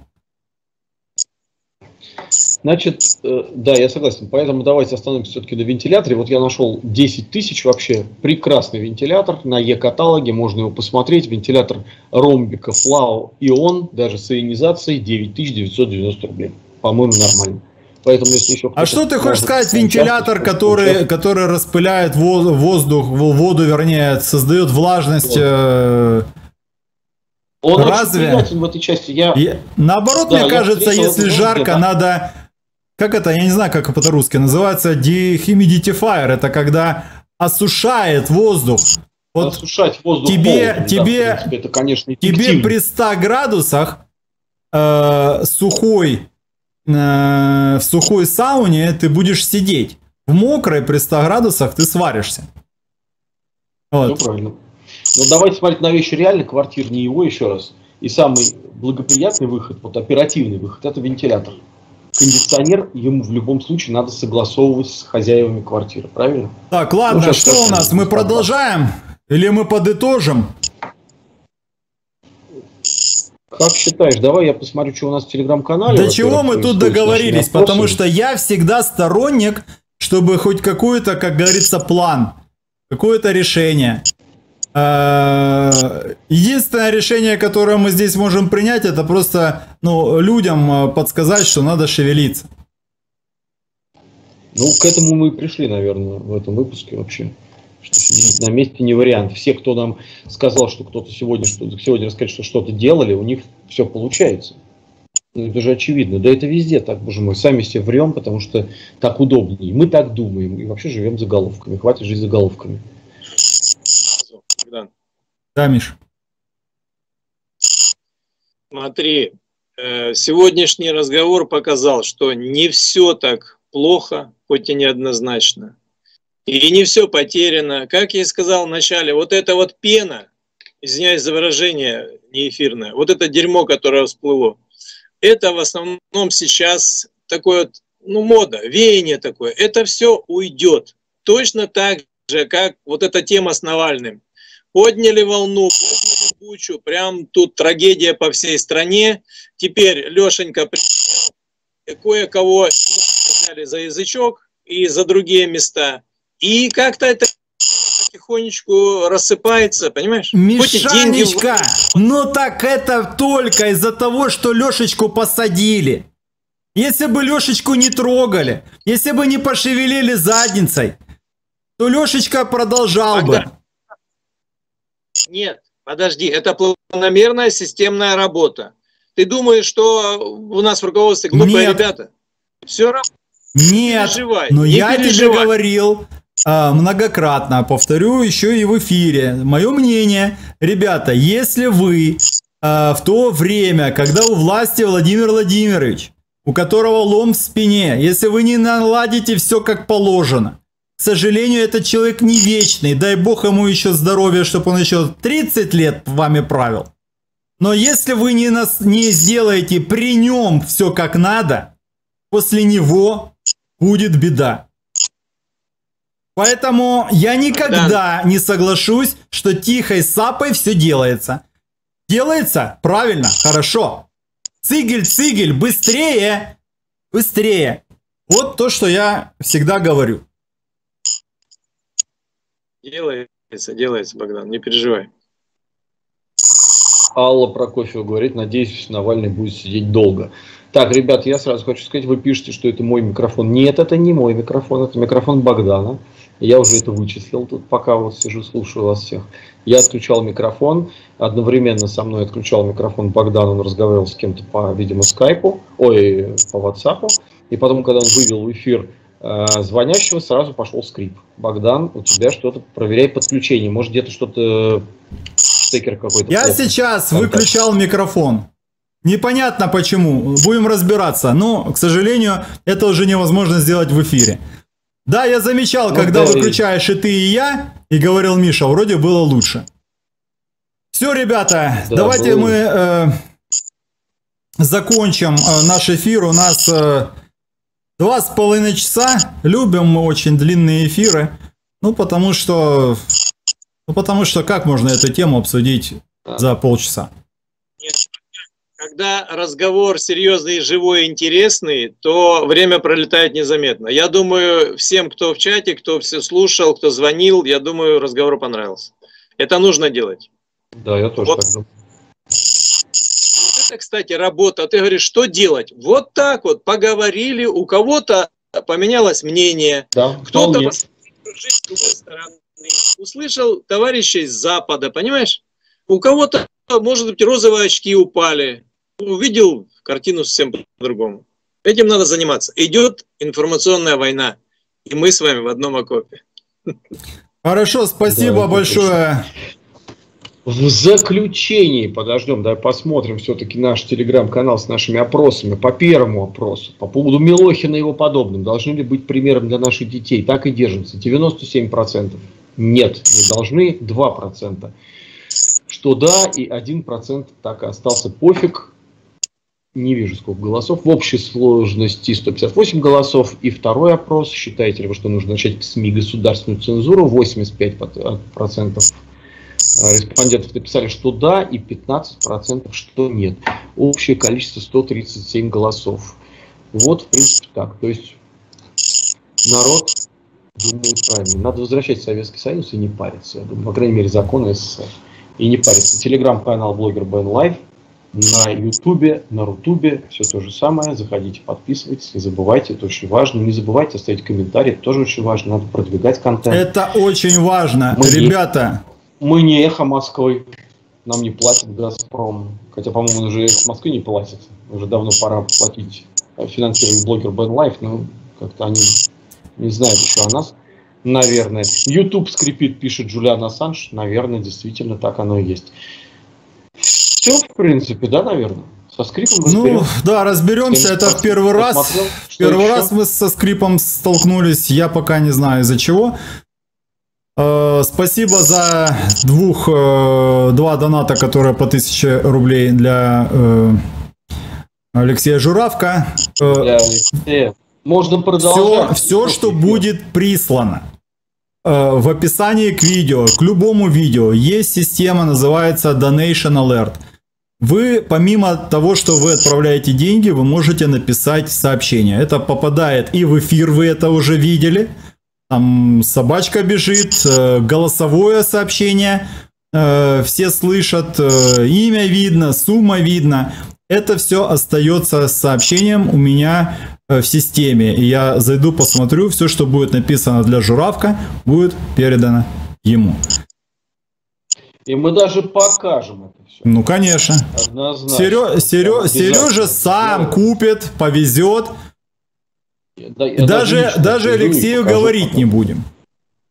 Потому Не что, будем. потому Я что, надеюсь, что он не он, будет, он будет ругаться. Вы не знаете этого человека, он Ой, будет орать да, просто. Он будет, да, он скажет, зачем? Зачем не надо? было это делать? Но да. обратите внимание в конце. Это прекрасный человек. Это патриот Украины. Это политик. В каких условиях живет. Ну да, да. Поэтому это достойнейший человек, поэтому дай бог э, соберем, купим, э, Сережа съездит, э, отдаст. Надеюсь, что не до, зим... не до зимы. Давайте, ребят, поторопимся, пока Да, лето наде- не кончилось. Да, вот я тоже. Все, ребята, всем добра, спасибо. Всем спасибо. Не забывайте комментарии. Всем спасибо, все свободны. Не забывайте комментарии. Всем спасибо. Комментарии, к сожалению. Да, напишите, несложно же. Несложно же хотя бы пару слов написать. Я Это хочу еще сказать в канал. конце. Ваш В любимый. конце по поводу комментариев. Огромное количество комментариев YouTube удаляет. Э, Я вижу, есть комментарии. Я начинаю открывать, мне пишет, э, система пишет комментарий удален. Э, Во-первых, это обязательно произойдет, если вы используете ненормативную лексику. То есть, если вы что-то такое пишете, то есть считайте, что вы пишете это все впустую. Поэтому учитесь выражать свои мысли культурно. Ну Вот. Даже есть слова, которые вроде как бы непонятно из-за чего. Там э, э, кастрюля, к примеру, это тоже уйдет все в бан. Не мной это придумано. Самим Ютубом. Поэтому э, ищите э, слова, которые вы точно не, не доведете свой комментарий до удаления. Потому что таким образом вы не... Не доведете YouTube до инфаркта. Вы, у Ютуба инфаркта не будет. Там не сидит какой-то Джон и не очищает это все. Но, Значит, надо комментариями довести но робота. канал, каналу это не помогает. Вчерашний, э, вчерашний стрим, который у нас был, я вот прямо сейчас посмотрю. Так, мне надо... А, не забывайте, у нас э, э, второй канал есть, э, на который я решил выставлять не только э, прогулки с собакой, а и все вообще, что, что делается со мной. То есть все поездки я не буду уже здесь выставлять. Никаких поездок тут не будет. Поездки будут на другом канале. Так вот, что у нас тут? Честно. Ладно, я... Это надо зайти на YouTube. Это вчерашний эфир? ты Да, хочешь вчерашний Смотри, эфир. давай, я хочу посмотреть, сколько там Давай. комментариев. Там просто Сейчас слезы. А, Это у нас... э, а, вот они не успокоятся. Пока жива, жива Россия. 7,5 тысяч просмотров. А, сейчас я посмотрю, что у нас с комментариями. Потому что мне на... 169. Ну, ребят, ну слушайте, ну 169 комментариев. Ну неужели просто сложно написать одно слово? Нам понравилось или нам не понравилось два слова? Напишите. Ну 169 комментариев, ну это мало, конечно. О чем мы говорим тогда? И зайдите на каким-нибудь этим упоротом, посмотрите, сколько там количество комментариев. С уважением к вам. Всем пока.